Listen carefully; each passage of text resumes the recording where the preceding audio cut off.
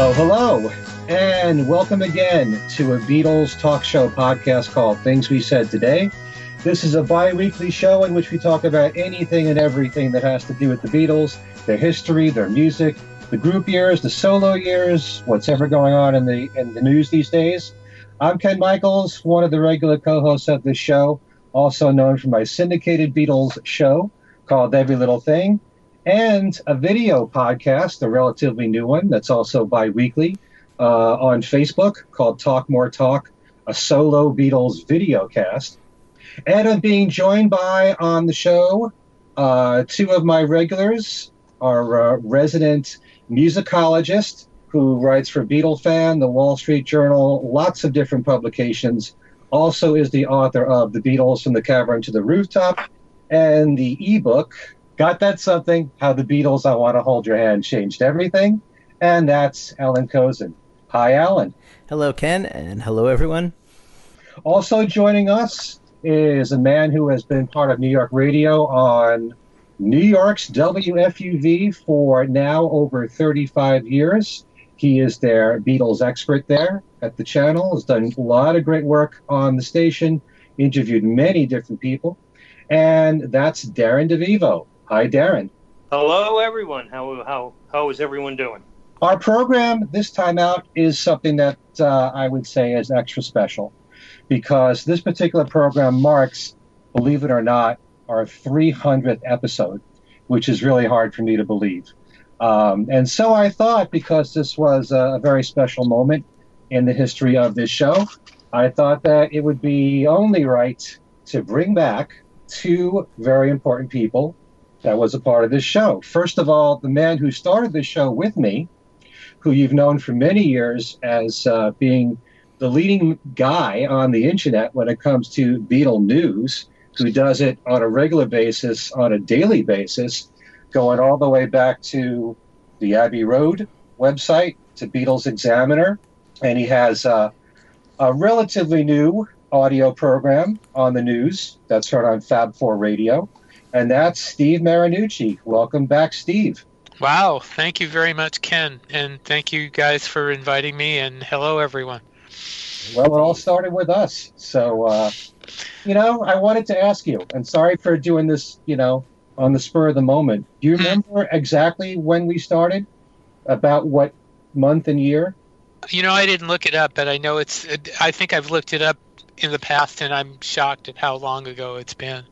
Um, it's it's been, it was a long time ago. I mean, it's like I'm sitting here looking actually at the the Podbean webpage, and I think the uh, it actually says uh, October 2012. I can't believe it's that far. Uh, I, I really can't. Yeah, but that's apparently when it was.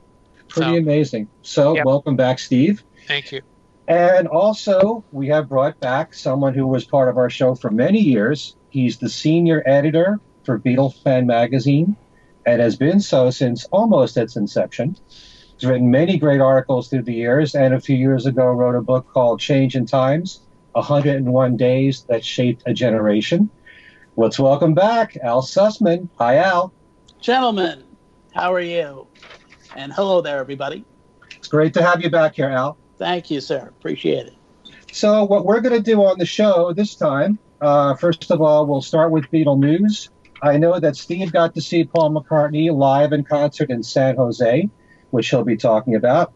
And we're also going to be talking about whatever any of us have to say about the new Paul McCartney reissues of live material. There were four titles that just came out on uh, July the 12th.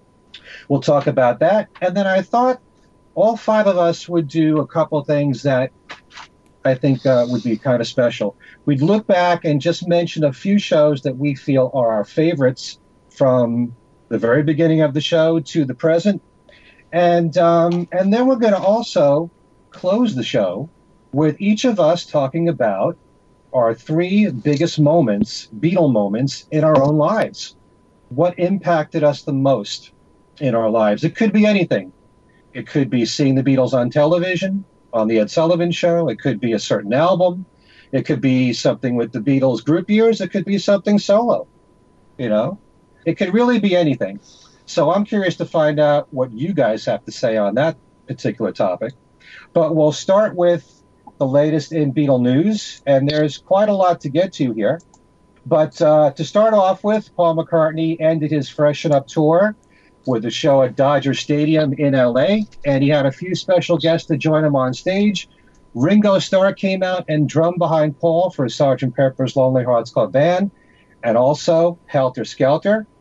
And Joe Walsh came on and jammed at uh, at the end, uh, trading guitar solos for the song "The End" with Paul and the band. So, who would like to comment on this? I guess you've all seen this online, right? Yeah. Oh, yeah. It's. I mean, he usually does something like that at the end of his tours anyway. I'm only sorry that he didn't do something in San Jose, which was the gig before that I saw. But but um, that that that was great that he that Ringo came out like that. So. Anyone else? Not especially because what can the you say, thing- really? You know, it's, yeah, because it's, it's- it's not as if uh, they haven't worked together. Uh, In fact, uh, actually, it's uh, apparently one of the reports said something about the, oh they haven't worked together since the Beatles, which Yeah. is which is ridiculous because I think that they haven't worked together in about I don't know six months. I guess. It's, it's funny every time something like this happens, the way the people who don't really know about the Beatles write Yeah. about it. yeah. It's like Mm-hmm. yeah, uh, you know, you see the word, of course, reunion, like it's never happened before. Mhm. They've never, they've never ever gotten together, and they never will again. Yeah. And it's, and everybody looks at it like it's the Beatles as a group, which of course it's not. And uh, it's, it's, you know, I, it, how do you, how do you, you deal with that? You don't, I guess. You just kind of go, okay, you know, you just sigh and, and go with it. I mean, and you think know, to yourself, millennials. Yeah. I, guess, I exactly. guess, I guess, uh, yeah, I guess that's it. But it's not. But remember too, Allan, it's not just millennials. I mean, you get the media in general doing that, Uh, and I, I, I, I understand what you're saying about millennials and the media today, but it, it's everybody doing that. I mean, Yeah, that's true. I even I, I, I I honestly didn't read, and I hope he's not listening. Randy Lewis, but I'm sure Randy Lewis said reunion, and Randy Lewis is no you know millennial, so Mm. you know. Well, it, it- it is a reunion of two Beatles. That's all that it is. Yeah. And, you know, it still is regarded to, to many of us as being something special. but they are, you know- but they get together. Uh, they get together. Yeah, all the know, time. because somebody told me that Ringo, I mean that Paul showed up for Ringo's birthday party.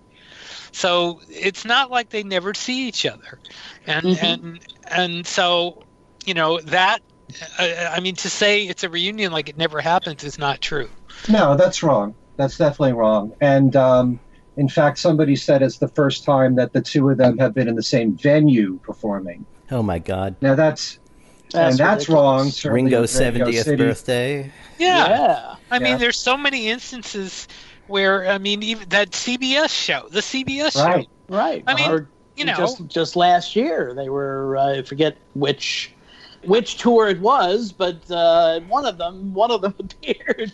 and and they've recorded together. I mean, they, Yeah. Paul. Yeah, so I mean, it's it's crazy to uh, the. I mean, it's it. You know, you can understand the dramatization and the and the way they want to hype it up, especially for you know for online, but it's you know you just kind of every time this kind of happens, and I you know I just kind of you know oh no here we go again, and and you know I just kind of shrug it off, but you know you can't get away from you know so No, it's just for me. It's nice to see.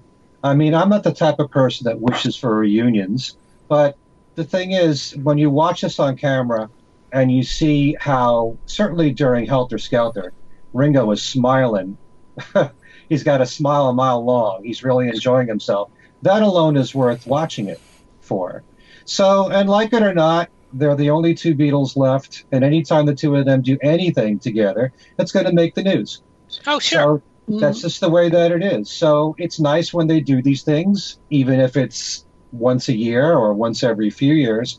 So I don't wish for it all the time, but it, it is nice when it happens, and it's nice to watch it on video on camera. Does anyone remember? Uh, I was at the show. Ken, you were at the show. I know that. Yep. Uh, I don't know if anyone else, Al, if you were there. I was there. Ringo, oh, you were there, Steve, when um, uh, you Ringo's 70th birthday. No, I wasn't. I I, was wasn't there. I was at that. Right, I, I was there. Uh, 70th birthday at Radio City Music Hall, McCartney came out, and that was something special. Mhm. And um, in fact, he was sitting just a few rows behind me, and I didn't know that. Mm. Yeah. at the time. Uh, and then the stories came out that people were recognizing him and he was shushing everyone because he didn't want Yeah. the secret to get out that he was there. But anyway, Mhm. when that happened, that show, does anyone remember any national coverage that Paul came out for a Ringo show? Only No. Uh, I thought it was maybe- pretty well maybe- covered. Yeah, maybe You mean specifically, the sp- specifically mentioning that that Paul had played for the first time at a Ringo show? Is that is that what you're asking? Because I mean, everybody everybody mentioned w- the circumstances of it.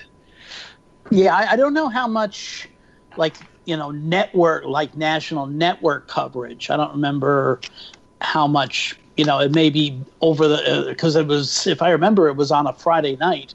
So I think over that weekend there wasn't, you know, much in the way of like network TV coverage of it or or whatever. So I don't know how much of the media had been alerted to this may be happening. I don't Hmm. remember being alerted to it. Yeah, yeah. Well, that's yeah, exactly. That's that's a good example. Well, remember, it did start to sneak out before that he was in the area.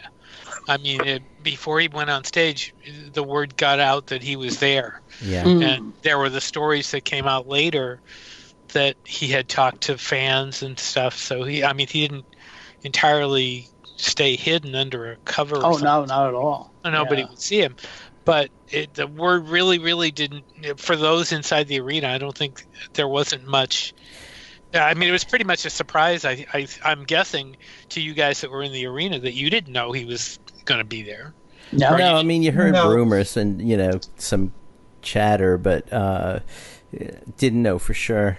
But Mhm. wait a minute. So like three of the five of us were at that show. I Mhm. mean, what Yep. are the odds? yeah, And also, Paul sat behind me, and I didn't realize it. We were sitting together. wife. We can. Yeah. You kept putting your hand on my knee. I remember. no, actually, Ken That and I were happen. sitting together. And we were towards the back, and I wasn't aware of it at the time. But I don't recall once the show was over. I think we found out, or at least I did. He was sitting over here, and he had been discovered, and and I was annoyed at myself for not turning around for two hours, you know, or I Mhm. would have seen him because we were just a handful of rows away uh, at Radio City. I think I even had to quickly get up and use the men's room, and would have all I needed to do was pay attention to the world, my surroundings, and I would have seen him. And I didn't, you Mm. know, I just made a beeline to get back to, you know, as quickly. as that's wonderful But the best part about that was that Ringo was unaware of it all that time. yes, They were doing everything they could to make sure he he didn't know at all. So he must have been. If there were any reports on television at all, they kept that from him. mm. Hmm So Yeah. TV out of his uh, dressing room. and the band started birthday, and Ringo wasn't there, and he had to run onto the stage and go onto the drum set. right. So that that's proof that he didn't know Paul was going to be there. Oh Right. yeah, So, but that was nice. But anyway, it, it's it's nice when this does happen every now and then, and um, you know, just from my point of view, I don't expect anything like this to happen. I'm grateful for anything that Paul and Ringo do now, whether it's making a new album or performing live. And if something like this makes the two of them happy, then I'm all for it. And it makes a lot of other people happy too. Absolutely. Anyway, more news, and for some of us, this could be the biggest news of the past week. Um, while we're waiting for the official statement, word has leaked out about the upcoming Abbey Road box set to celebrate its 50th anniversary. A super deluxe edition will include three CDs, a Blu ray, and a hardcover book. The three CDs would consist of the first disc being a new remix of the album, the other two CDs being demos and outtakes. The Blu ray would have a Dolby Atmos mix of the album, a 5.1 surround sound mix of the album, and a high resolution stereo mix. And in the book, Paul McCartney has contributed 80 never before seen photos taken by Linda from the studio sessions, and Kevin Howlett has done most of the writing for it. So, in addition to the super deluxe version, just so that we know what we're covering here, there'll be a deluxe version of two CDs, one with the remix of the album plus one CD of demos and outtakes. Abbey Road will also be available as one CD of the new remix. There'll be a three LP box set with the remix and two albums of demos and outtakes. There'll also be a 180 gram vinyl edition of the remixed album. Uh, plus, this will be available in non physical formats for purchase or streaming. And it's strongly rumored that both Paul and Ringo will be attending a listening party at Abbey Road's number two studios. And they're giving the date for August 28th. And I happened to check on Ringo's website, and he's actually doing a concert in Oakland on the 28th. Hmm. Mm.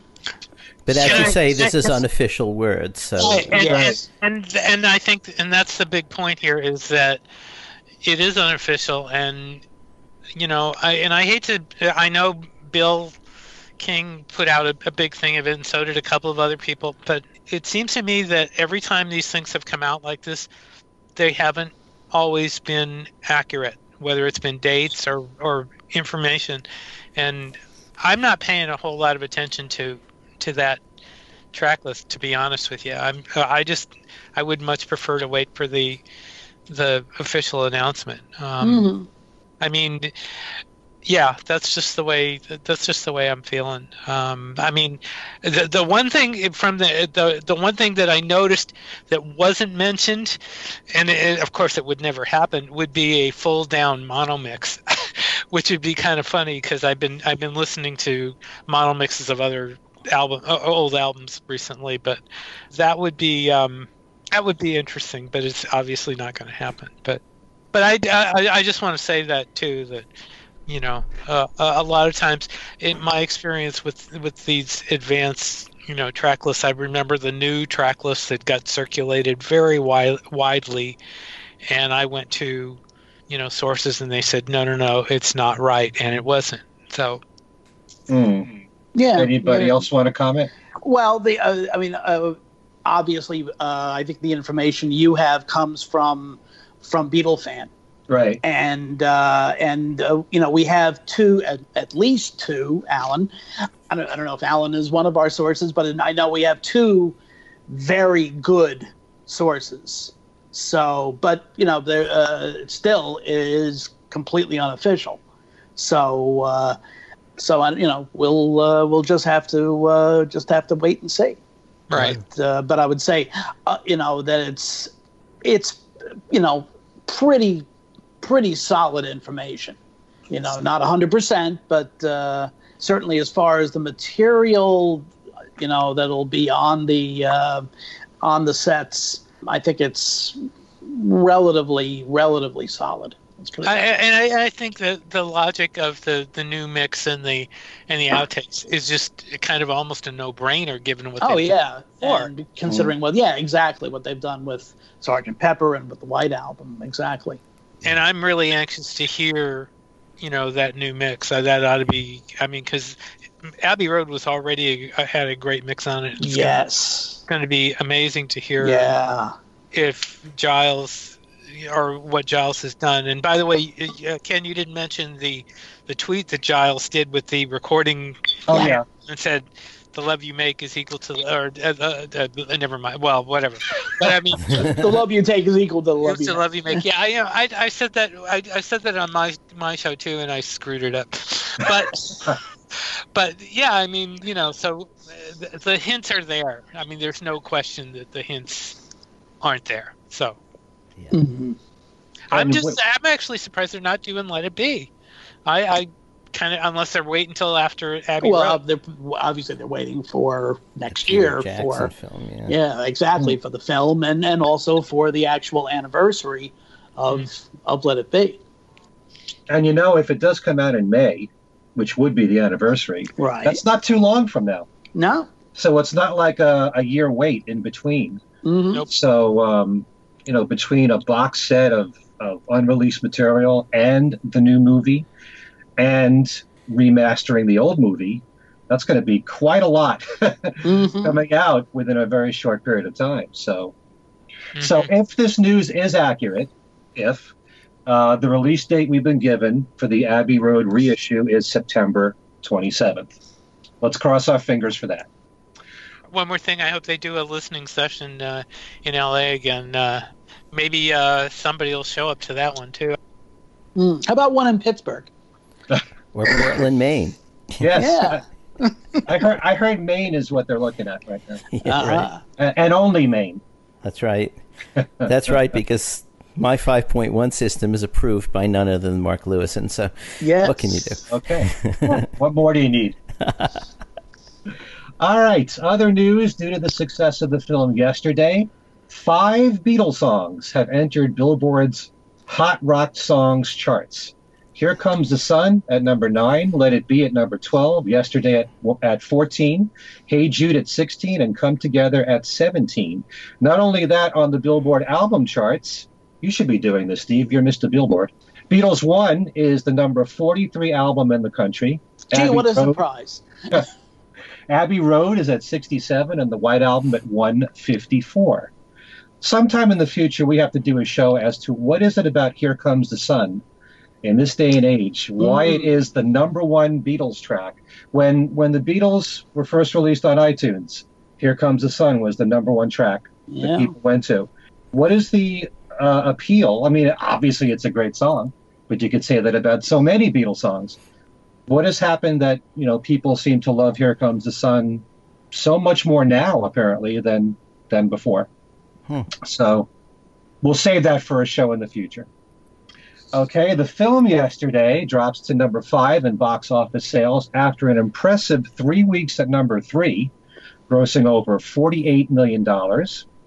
Uh, the new issue of Uncut Magazine is out called Introducing Ringo Starr, the Ultimate Music Guide, and it includes in depth reviews of every Ringo album, a section on Ringo's films, one on Ringo's rarities, and uh, also archived interviews from the NME and Melody Maker, newly discovered.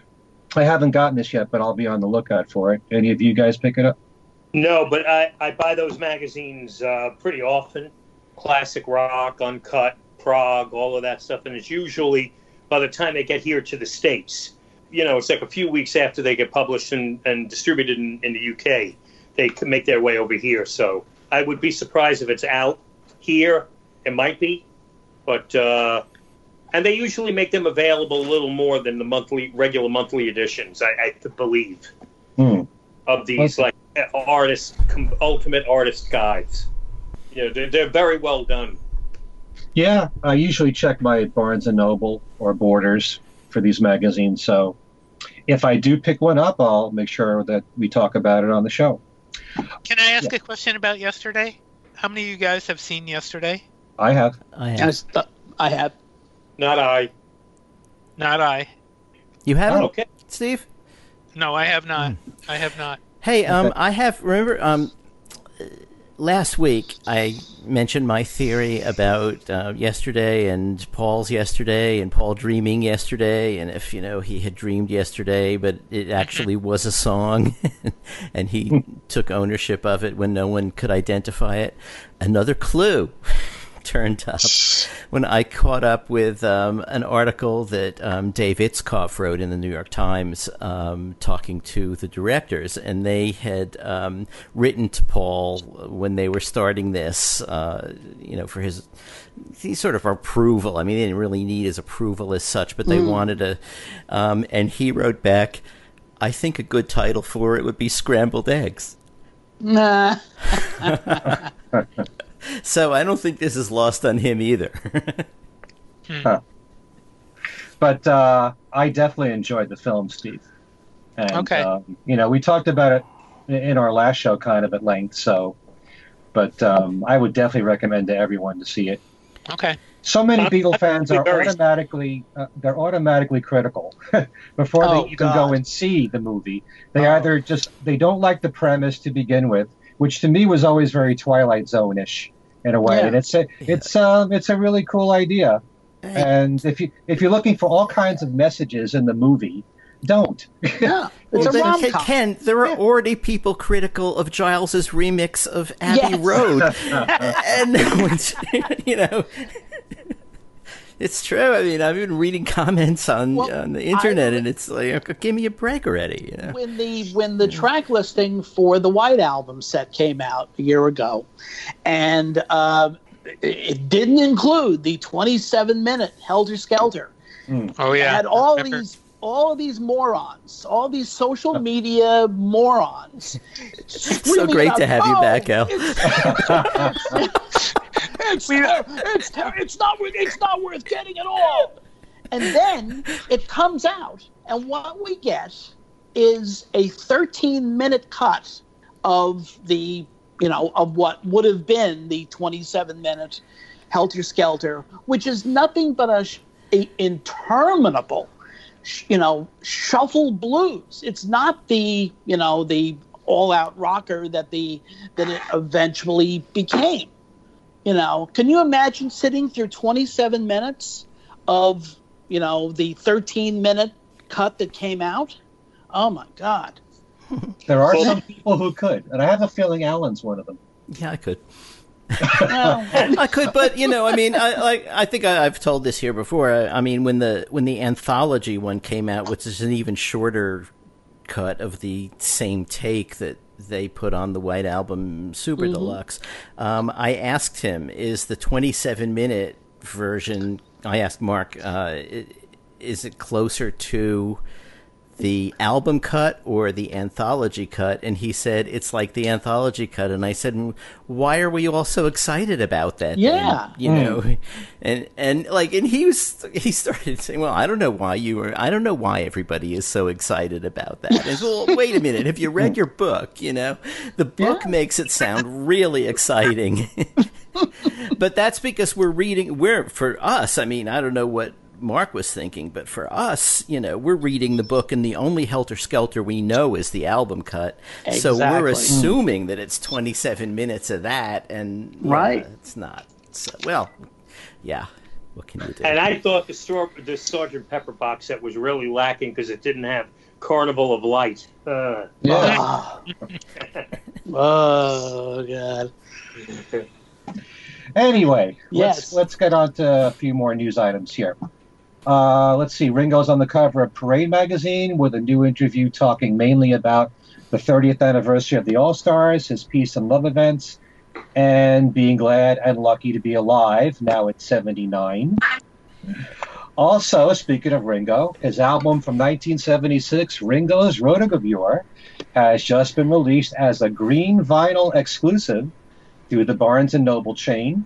It's being released on the Friday Music label, and they've been putting out Ringo's Bad Boy album in various different vinyl releases. I know uh, Darren's probably going to pick this one up. sure, why the heck not?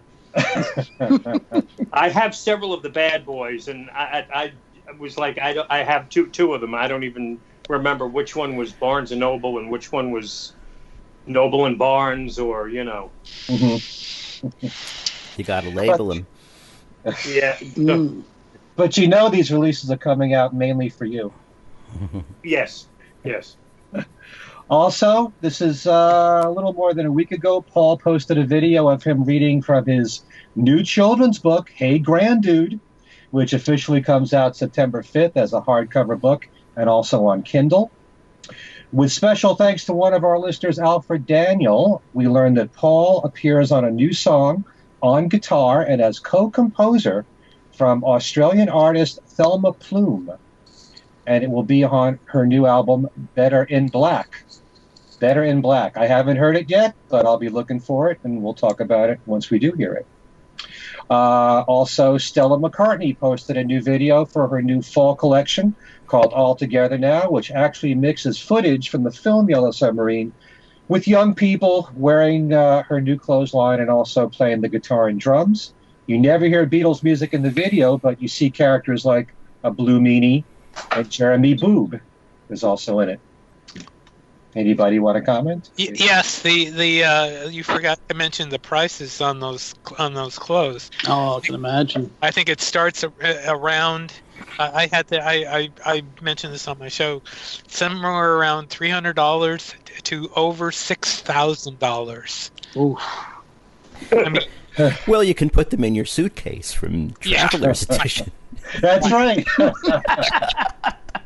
there you go. Good. That's good. Uh, news about Yoko. She sent out a live video for something called Bells for Peace for the opening of uh, the Manchester International Festival. While Yoko was singing lines about wishing for peace in the world, the crowd participated, shaking their bells and ringing them for peace.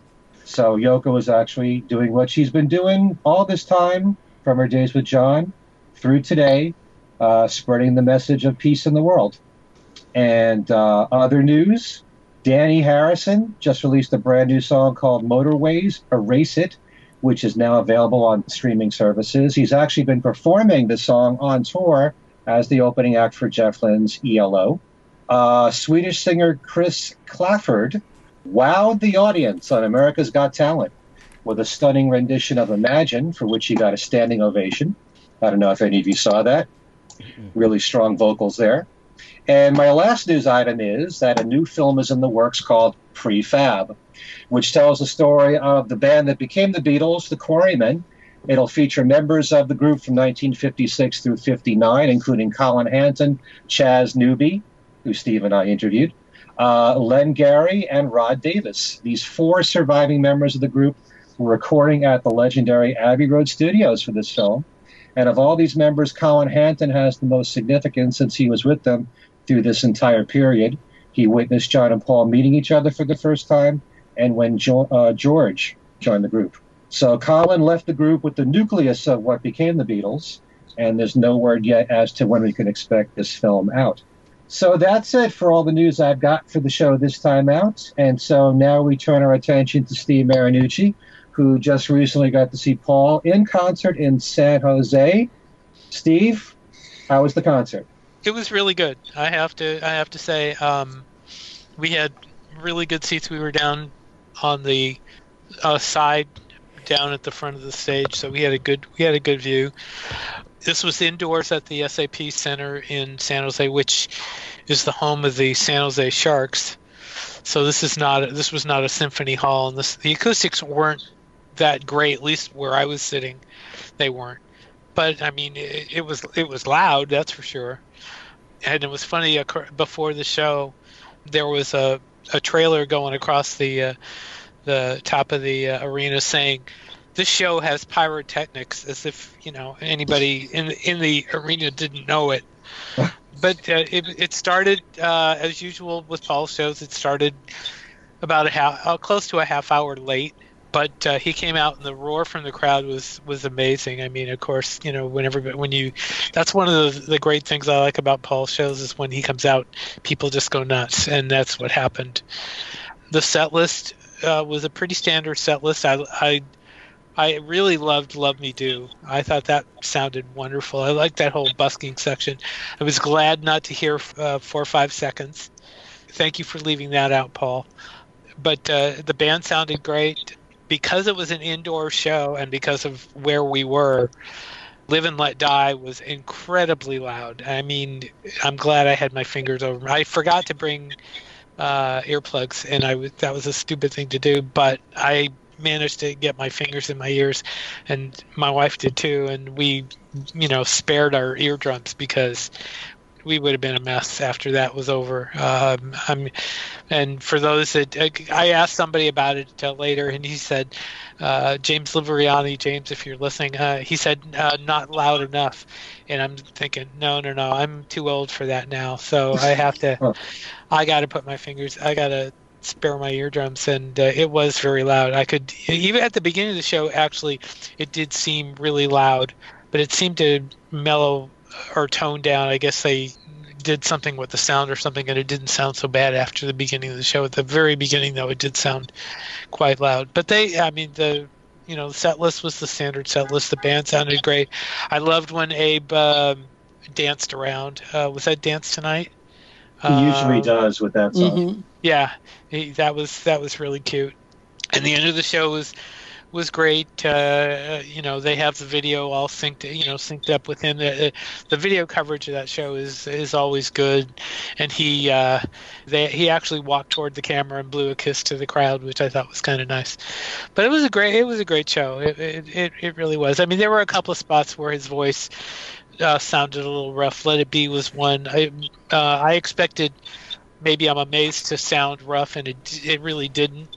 But um, for the most part, his vo- voice sounded good, and you know it was it was good. And I'm only sorry, like I said, that Ringo didn't show up in San Jose, but that's the way it goes. But still, it was fun.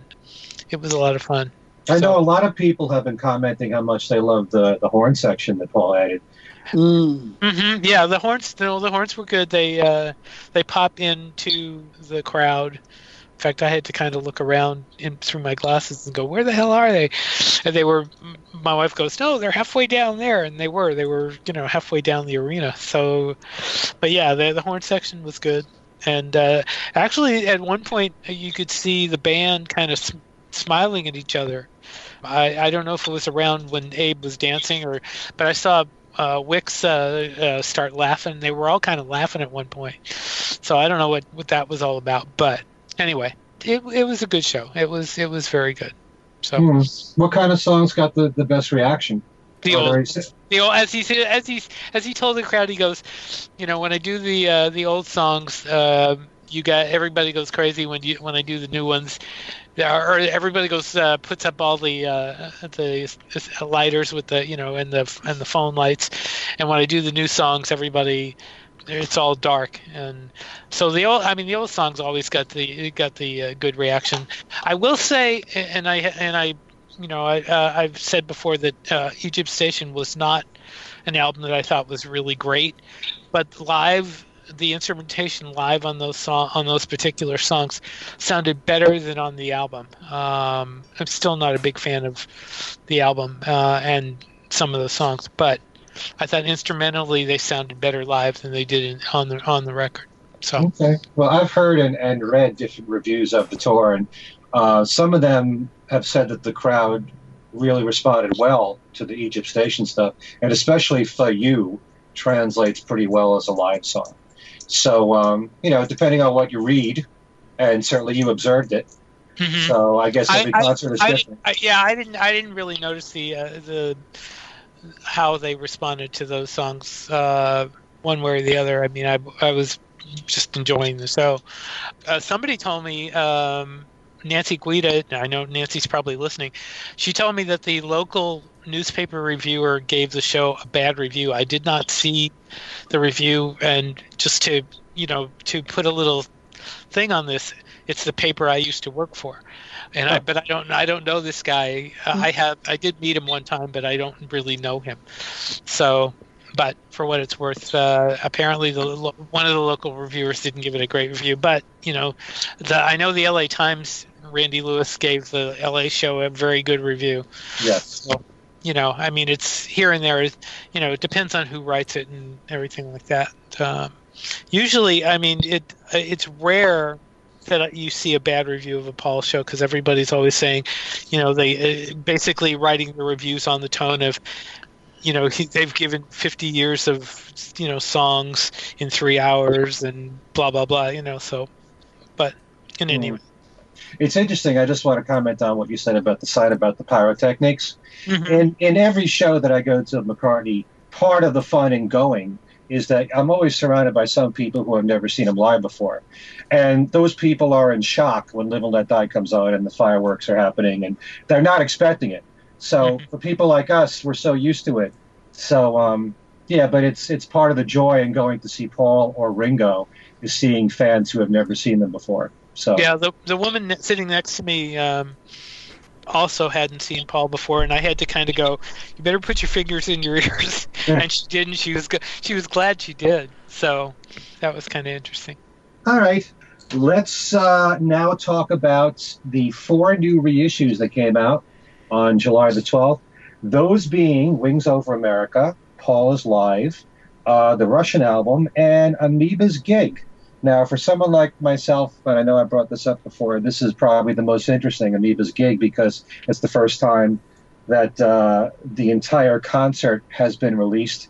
Prior to that, it, it only came out as an EP of four songs and then through Paul's website you could get I think it was 12 songs and now it's the entire concert so um, if what matters to you is getting material that's never come out before then Amoeba's Gig is probably the most important of these four releases. And um, as far as I know, The Wings Over America is not remastered from the last time, which was only a few years ago. I'm not sure about Paul is Live. Maybe one of you guys know if that's been remastered. And um, and then there's the Russian album. So who would like to talk about any or all of these releases?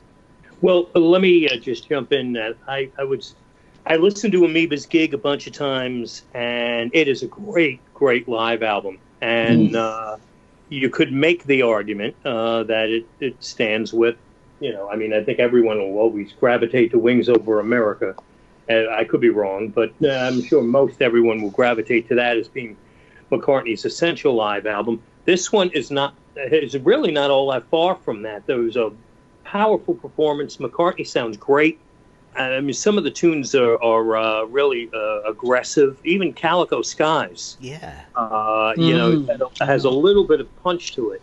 You could tell the band and McCartney are having a ball playing in a small venue, well, a store, and uh, that was also something that was pretty special. And this is maybe, a, in a way, uh, kind of a hint at what we're going to talk about later. But uh, around that time that he played at Amoeba, he did a show at the Highline Ballroom in New York City Yes. Uh, promoting memory almost full. Mm. Another thing about um, about this uh, Amoeba's gig is it reminded me because I haven't listened to it in a little bit of really what a terrific album Memory Almost Full is because there's a bunch of tracks uh, from that that they perform live. The only thing I would looking at these four reissues, it, it just they seem odd that, that that that was done like this, reissuing Wings Over America again giving us the Russian album as a live album, which it's really not, right? I mean, it's mm. a hmm. studio recording. Uh, maybe it was recorded live in the studio, but uh, and then you have Paul is Live, which is it's a live album. I would have liked them to actually put all of the attention on Amoeba's gig and release that individually as a quote unquote new album. Let it get the front and center attention I think more people would be paying attention to it. Mm. Um, you know, and then down the line, maybe do in the McCartney archive collection a reissue of Paul is Live and Tripping the Live Fantastic and Unplugged. Do it that way. I just felt like Amoeba's gig deserves more attention. It's going to get kind of lost in the shuffle amongst these other reissues, and I don't think we needed. Uh, I know we didn't need another Wings Over America. No. But I ordered well, it on colored vinyl anyway, and any, what else is new?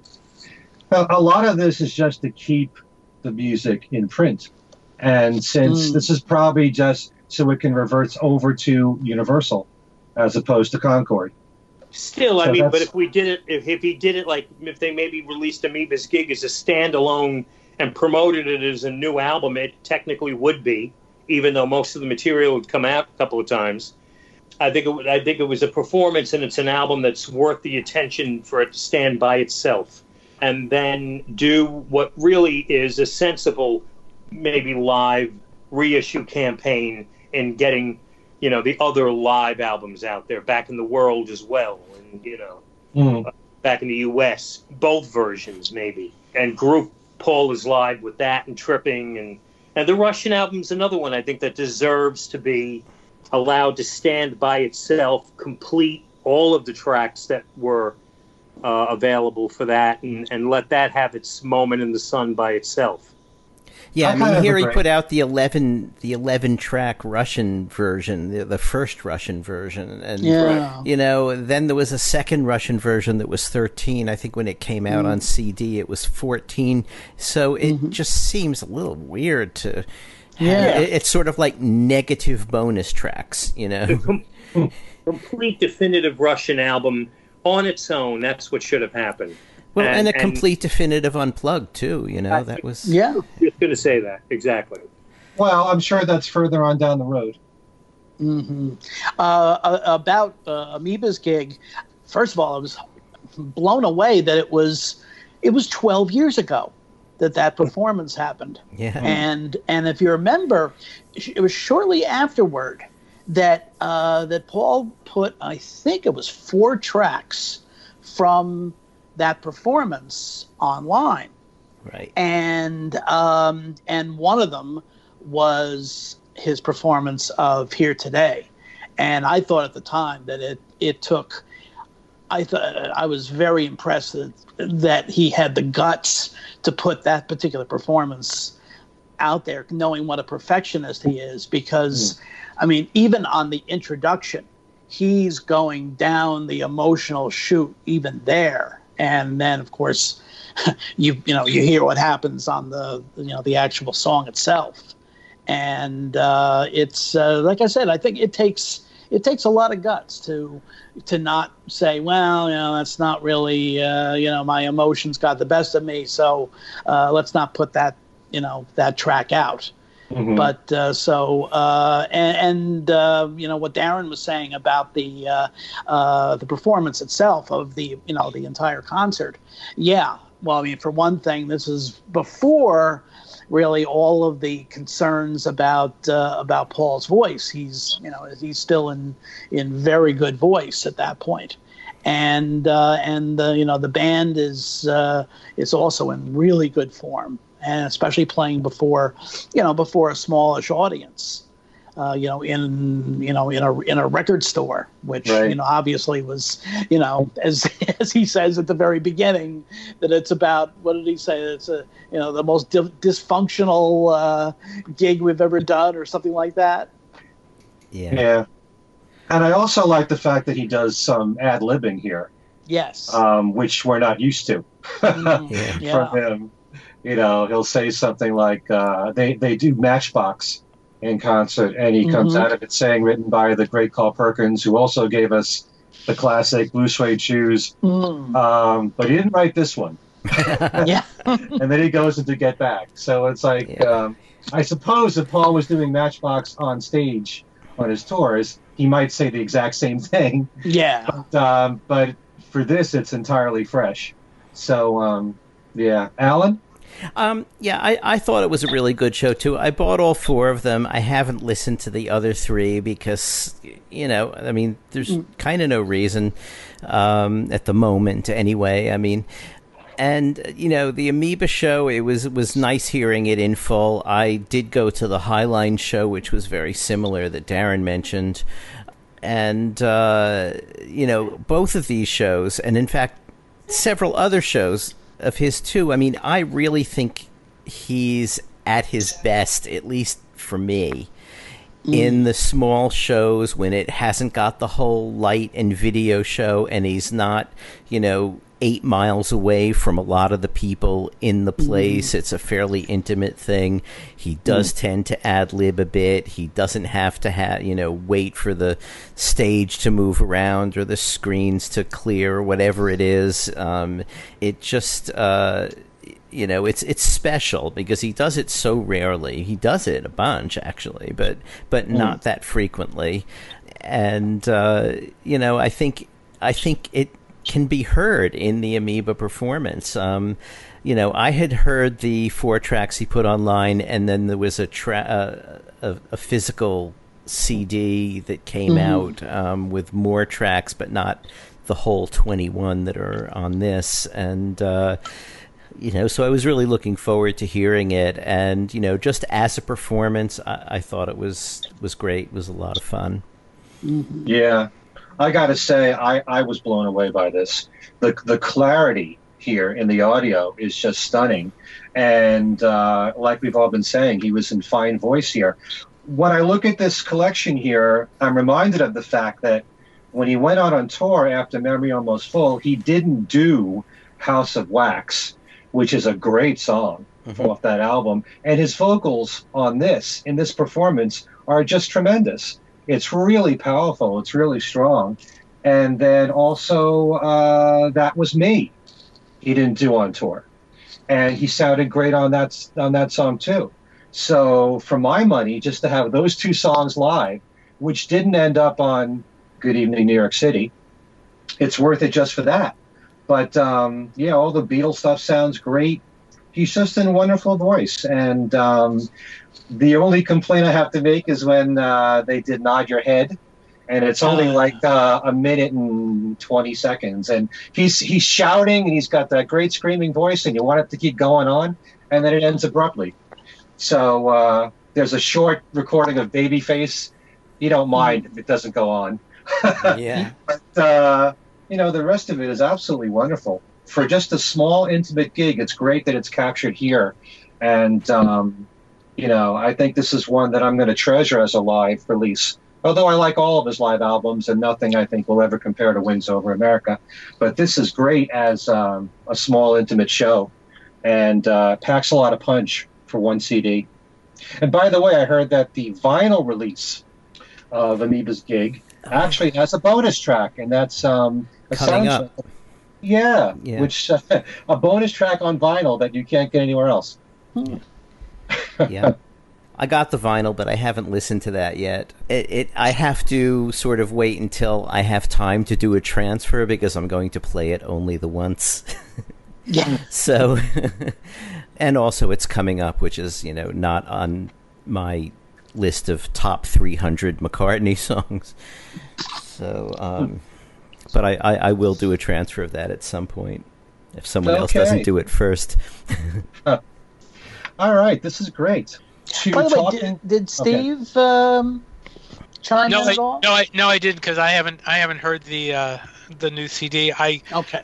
I do have a bootleg of the of the entire concert, but I mean, uh, I don't have the new CD yet. So Ah, Hmm. And you know, from what I remember from when they came out earlier, the audio that I heard was very compressed from Amoeba's gig, and this Mm. is so much better. This sounds like just a real natural sound with Mhm. very little, if any, compression, and that makes a world of difference, at least to me, anyway. Mhm. Okay, so now it's our time to reminisce. As we look back at uh, the fact that this is our 300th show, and I'm sure that each of us have uh, some particular favorites that you might want to talk about that you're most proud of. Could be anything, could be any particular topic, maybe certain interviews that we've done through the years, whether it be from the beginning when it was just me and Steve, or when uh, Al and Allan joined, and the newer ones with Darren. We keep on evolving here. We're like the Plastic Ono band, I guess. So, uh, who would like to start? Let's um, let's start with Al. okay. Uh, well, I have to kind of separate the, the shows that I particularly liked were always the you know the discussion shows. Uh, I think those were the you know really the from a you know Sparks point of view, whatever you however you want to put it. I think those were, were those were the best ones. Things like the um, the the the various debates over the Capitol albums, uh, Pure McCartney. uh, oh yes, oh yes. yeah, Press to play. I think we need to do a new one on that. we'll bring you back for that, Al. Well, I don't know. It's, uh, I don't think my opinion has really changed all that much. Let's wait for the deluxe reissue, of the archival press to play, and, and then Yeah. we'll do that again. Exactly. But also there was uh, uh, one particular show that we that was kind of a very uh, impromptu one was the memorial that we did for Cynthia Lennon. Hmm.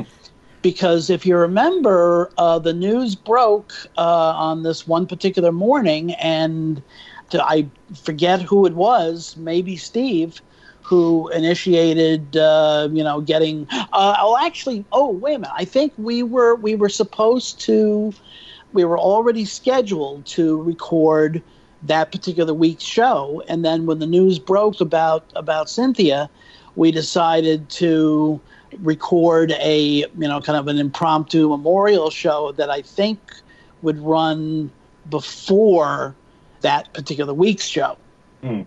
Weren't we on, weren't we online when, when that broke? Did- Didn't I happen to did I happen to notice that It was short. just- Uh, no, we weren't online yet, but uh, I think I think he possibly you or or Ken may have like you know contacted us and said, "Did you hear the news about, you know, about Cynthia?" It was very, it was, it was very shortly beforehand. Mhm. Yeah. You know, so uh, you know, so that was, you know, that was a, a very special one. But also some of the, uh, you know, some of the interview shows. Also, uh, the one that sticks out for me is the Denny Seiwell Right. Show where basically he almost took command of the interview and just and then this went on i think it was almost a two hour interview Right. and uh, he you know he just rolled with the with the flow and it was it was very very good and then and uh, laurence juber as well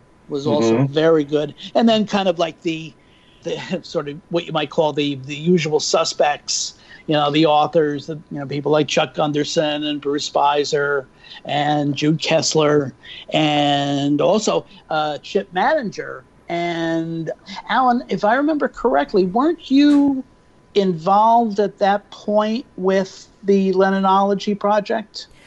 No, Chip was involved with the McCartney Legacy Project, which I'm doing Oh, with yes. Adrian Sinclair, and then we all sort of parted ways very amicably, I think. Uh-huh. And uh, but we were, it was going to be part of Chip's series that includes Lennonology because that's his own uh, publishing company, so to speak.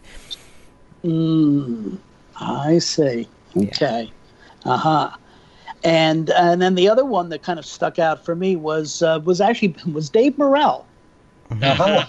which was uh, which I think came, that came through Steve, if I remember correctly, since they're both out there on the on the West Coast, and that, I think that was when um, the first of his smallish books Mhm. about his reminiscences came out, and uh, it was uh, it was actually uh, it was it, it was sup- a surprisingly entertaining uh, conversation. He's a great storyteller, Yes, you know, and I would love to interview him about everything else besides the Beatles because he's got so many stories to tell. Yeah. Being a promotion man for so many years on different record labels and the stories he could tell, I'm Mhm. sure. But uh, yeah, those are some great ones. Any others you want to add? uh, no, I think those are like the those are the real kind of highlights for me. Okay. How about you, Steve? Well, I also mentioned the Denny Seiwell. That I remember Mhm. after after we got off the air, after we had finished taping, we were sitting there talking for like an hour. How Yeah, good it was. It, it surprised the hell out of us. And Denny, if you're listening, oh, you, you're amazing, dude. Um, but yeah, that was that was great. Another one that uh, blew me over was Elliot Mintz. Yes. That was Mm. astounding. He was such a great storyteller. He was he talked about anything and everything and he never you know he he he didn't back away from any questions. I there has always been the internet, you know, feeling that he is very he, he's ultra protective but he he was very i mean he did not i mean he's not going to bash yoko and he's not going to bash john but he was very open and answered every question that we asked and i that was one of my favorite interviews with and then also lewisohn of course i mean that was that was astounding it was so Mhm. it was so Mhm. good and i think allan was the one that got him on and that was that was just a, such a great a great conversation i mean there's so many others uh freda kelly Mhm. uh, we t- we talked to her more than once. It, it, as far as discussions go, there's two that stick out. One is uh, the magical mystery tour debate, yes.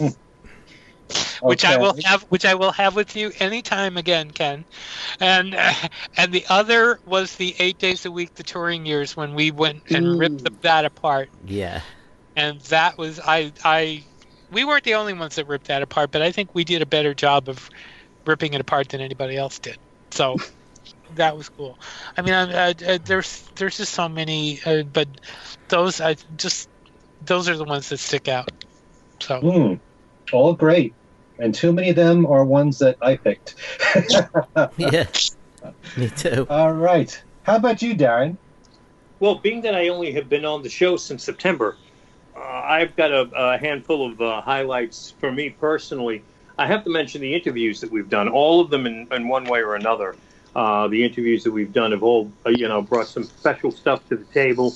Authors Brian Southall, we spoke to, and and Ken Mansfield we had on. We had uh, Terry Crane recently, mm-hmm. and uh, they all uh, were outstanding. As was bassist John Montagna, uh, yes. which was a lot of fun. Mm. And then getting to meet John in person at the Fest for Beatles fans, those were highlights for me. And the fact that the first show that we did, uh, that I did as a co-host, was talking about a new Paul McCartney album, and that being Egypt Station.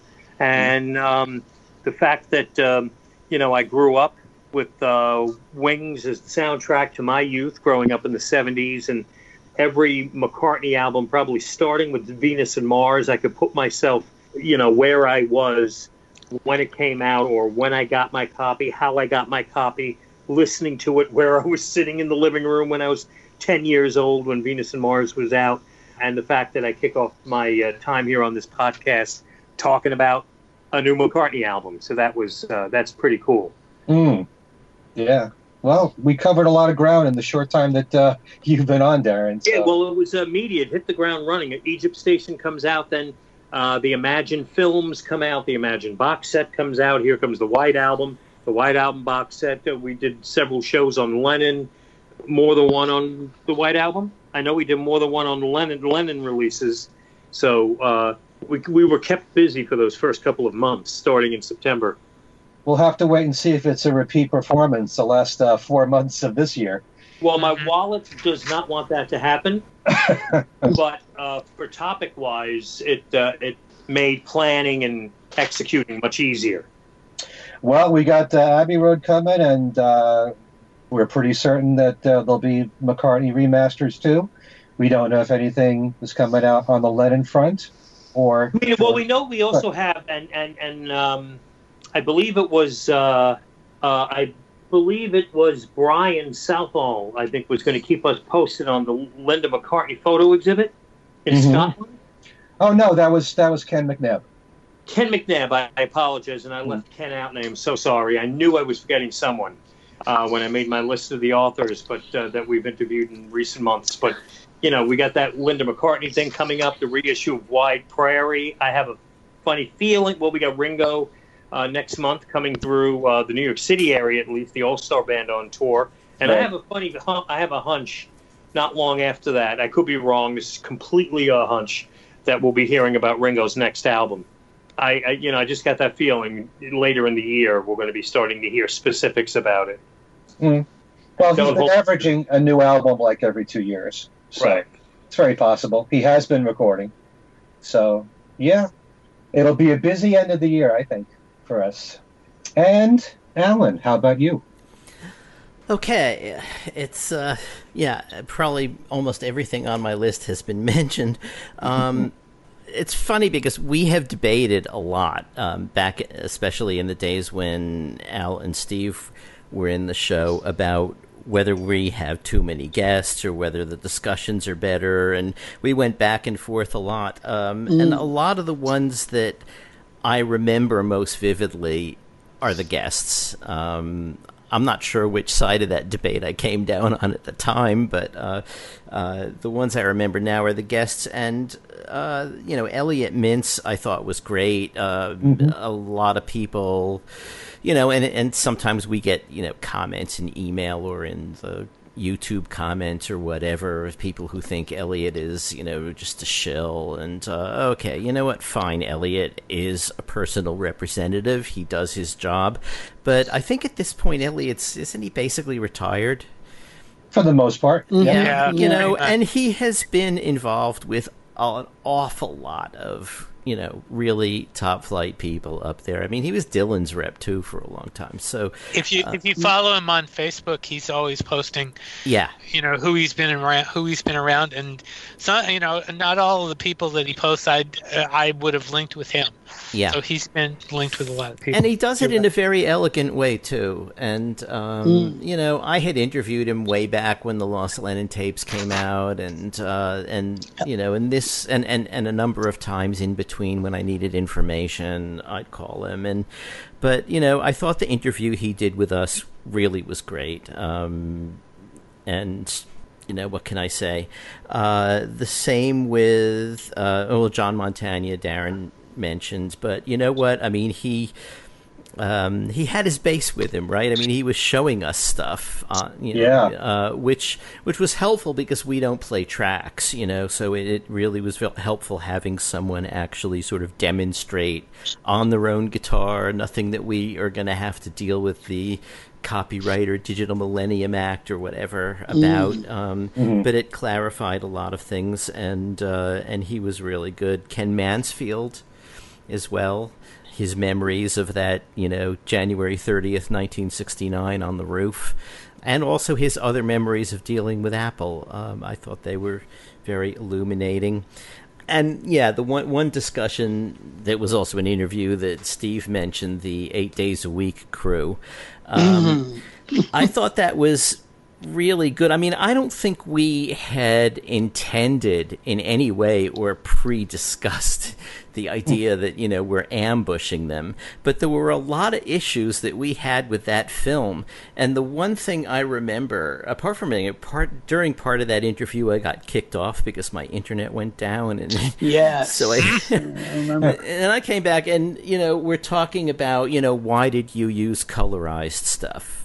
And he said one of the one of the the producer said, uh, "Well, you know, what do you think was colorized?" And I sort of went through a list of mm. something like seven bit, bits of film that were colorized, and he was kind of surprised that anybody would know that, which tells me these guys don't know who their audience is. You know, um, yeah. I'm not unique in knowing that kind of stuff. An awful lot of the people filing into the theater, you know, anxiously waiting to, you know, this film, all knew that. They all knew what was colorized. They all knew what had been faked. They all knew that, you know, even on the Shea Stadium film when it was shown, it was really the, the twist and shout from Hollywood Bowl, and mm-hmm. and Anne had been put into the Manchester film from 1963 for crying mm-hmm. out loud. Yeah, you know, and uh, I I don't think they felt you know they walked away bruised from that interview. I mean, I thought we all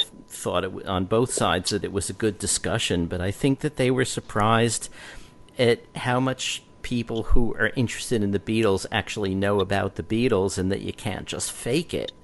Mm-hmm. Um, and I hope they have taken that with them, and when they do their next Beatles project, it's a little bit better. Um, hmm.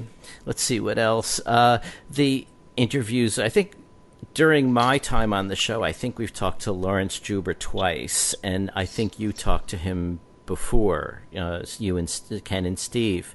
Mm-hmm. Um, I really enjoy talking to him. Um, you know, just as a guitarist, he, uh, you know, he knows an awful lot of stuff besides the wing stuff. But he was very illuminating. I thought about the the relationships within Wings, the making of Back to the Egg, all that stuff.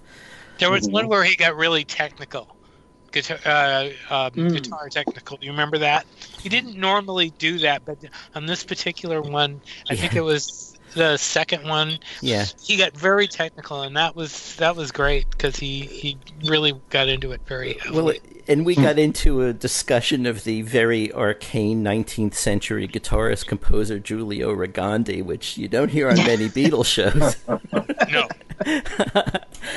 let's see uh, the authors you know chuck gunderson i thought was great it's it's mm-hmm. it's always fun having mark lewisohn on because you know he knows an awful lot of stuff i mean you even need to say that uh, and uh, yeah and ken mcnab ken mcnab was also a, a lot of fun um, so yeah uh, but if, if we're were we supposed to keep it to three it's almost impossible. I know that. it's almost impossible, but so from that list, the three that I had singled out were Ken Mansfield, Elliot Mintz, and John Montagna, um, all of which were pretty close. They were numbers two, 290, 268, and 291.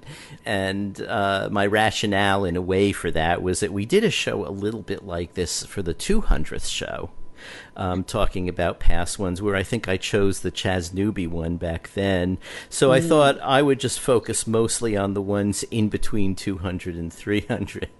Wait, So- nobody told me Math was going to be involved in this. I didn't have the numbers. yeah, the- yeah. I, I didn't write down the numbers for my episode, so I didn't. e- I didn't either. Hmm. Oh well. so I'll quickly mention my favorites. Um, combination of interviews and um, discussions on albums and well, certain topics that I'll I'll, I'll mention in a moment. Interviews, I got to mention Denny Seiwell. I, I really was blown away by that interview. Mhm. I think that there's something to be said about someone who, you know, we are talking about almost 50 years ago that he worked with Paul McCartney, Mhm. and his memories seem to be pretty vivid for that time, and um, and also something to be said about just about any member of Wings, is that even though with the fourth and fifth uh, members, the bands lasted three to four years. Within that short period of time, Paul was so prolific. There's so much you can talk about in that very short period of time. We could have done one show just on Ram with Denny Seiwell. We could have done one show on Wildlife. We could have done one show on Red Rose Speedway. We could have done one show on the tours with Wings. But his his memory was just really sharp, and he's just a great speaker. And uh, I'd love to have him back on the show. And um, I interviewed him recently for the the Wildlife and Red Rose Speedway box sets, and he was a great interview. Always is. Um, I recommend to all our listeners to listen back if they haven't heard that interview to check it out. Mark Lewisohn, what can you say about Mark? He's always a great interview. It's impossible for him not to be. He's always got fascinating things to say and things that you never knew about before. So, Mark Lewisohn on his worst day is a is a fascinating interview. He really is. I mean, I watch on YouTube some interviews with Mark, and every single time I learn something new that I never I never knew before. And there's something to be said about that. Um, Elliot Mintz, I agree with all you guys, was fantastic, um, and he couldn't have been nicer. Know, he was just very candid. Whatever he felt like saying about John and Yoko, yes, very protective, but everything he said was from the heart, and I believe truthful, and just exactly how he felt. And you really, you never felt uncomfortable bringing up any topic with him.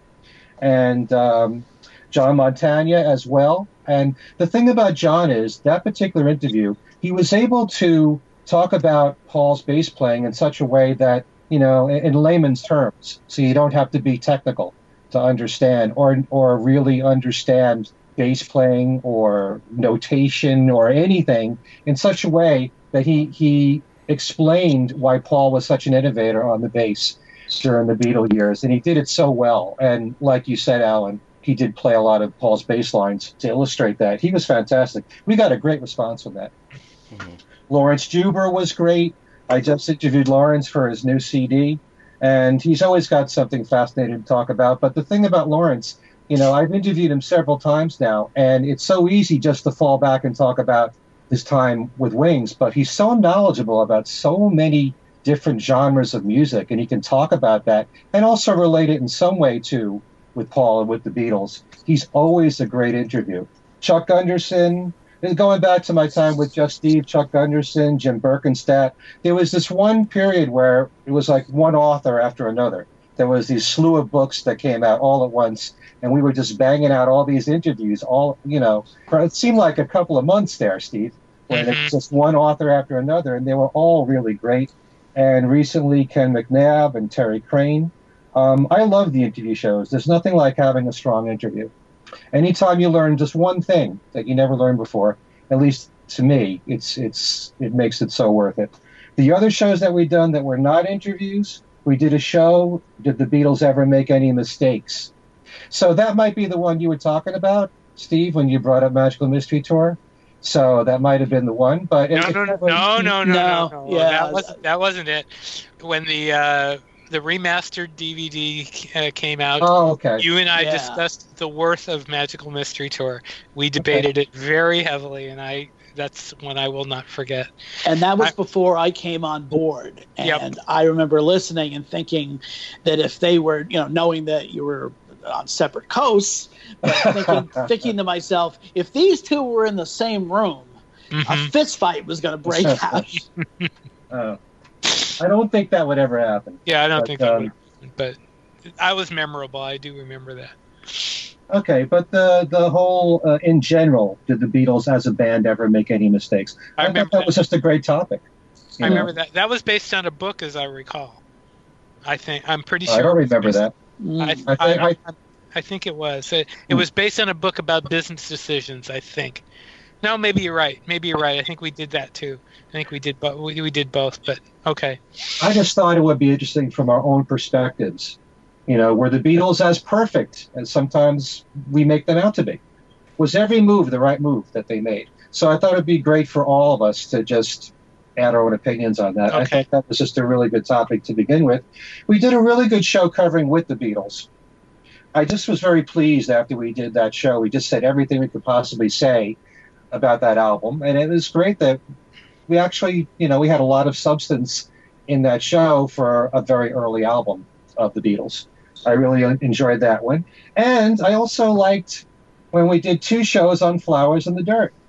And in particular, there's one thing that we talked about which really stood out for me, which I thought was really interesting, was discussing Paul and Elvis Costello and their relationship and whether or not, and this is like getting into a psychological profile of Paul McCartney, which could be dangerous. but um, whether or not Paul is uncomfortable with the idea that anybody that he works with could be measured up to John Lennon. And we were talking about that, and I thought that was a pretty serious subject right there. I wasn't expecting us to bring that up, but it's kind of interesting because a lot of people love the collaboration between Paul and Elvis, and then you got to wonder why they didn't continue. And the critics really liked their working together, and they compared him a lot to John because Elvis would be someone who apparently could tell Paul if he's not putting out his best material or whether or not he could work. He should work on his songs, you know, harder. And he'd be one of those people who would do that. And critics really liked that particular collaboration. So it's kind of strange that after that short period of time, that Paul never worked with Elvis writing again. So we got into that as a conversation, which I found fascinating. Hmm. Well, actually, if you you know if you uh, if you read the um, you know the the book that came with the uh, the box, and also if you've read Elvis's book, uh, you can kind of see why they didn't work together again. Um, the one particular incident about uh, uh, Paul mentioning something about wanting one of the tracks to sound like uh, one of the Oh. Human League Yeah. uh, tracks, and, and Elvis had to like leave the room because he was he was so upset about. No, I remember that uh, you're talking about that day is done. Yes. Yeah, yeah. He Paul was thinking about giving it that approach. Yeah. So yeah, but I, I would hope that one incident like that is not what led to them not working together after that. But Well, I think you know that again in Elvis's book, it, he you know he doesn't come right out and say it, but I think he kind of intimates that uh, that actually if they had you know gotten farther into working together, it might have actually damaged their their personal relationship. Hmm. So it probably is a good thing okay, because obviously they've retained their friendship, uh, you know, over the years. Okay. I haven't read the book, but um, you're certainly It's- giving me oh. reason to, to read it. Yeah, absolutely. All right, great. So now that we've discussed our favorite shows, we're going to talk about how the Beatles, how certain uh, moments in the Beatles' history, group and solo, affected us to the point where we're going to list our three favorite, uh, most important Beatle moments in our own lives. And like I said earlier, this could be anything. This could be a, a song coming out, an album coming out, an event, a concert, a TV appearance, anything at all, an interview, it doesn't matter. So why don't we start with Steve? okay. I, I obviously Ed Sullivan has to be the first mention because I mean I you know I'll never forget lying on the uh, living room floor uh, and watching it on television. Um, you know everything sprang from everything sprang from that. I mean I've you know I've told how I, I got got to that point and stuff. But I mean, obviously, being at that, watching that moment and, and remembering that moment is you know is something I can I cannot forget. The other two are kind of personal. Um, going to the White Album listening uh, session last year in Studio Two at uh, Capitol Records and hearing the advance mixes on their sound system with Giles Martin in the room was just absolutely amazing. I mean, I you know I sat there and listened to it, and there was nothing nothing could describe how wonderful it was to be in that room and listen to those mixes on that system. It was funny, and if you've seen my Facebook page, you you see it.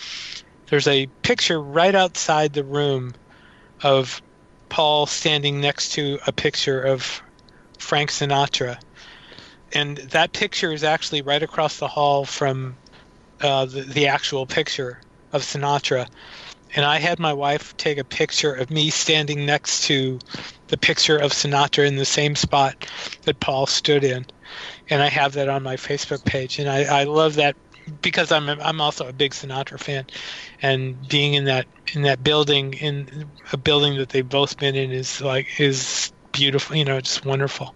And the other thing, again, it's another you know personal thing about being in the uh, Capitol Tower when they when I was doing a story on um, on the uh, anniversary of Capitol Records, and I think I told this story here um, before.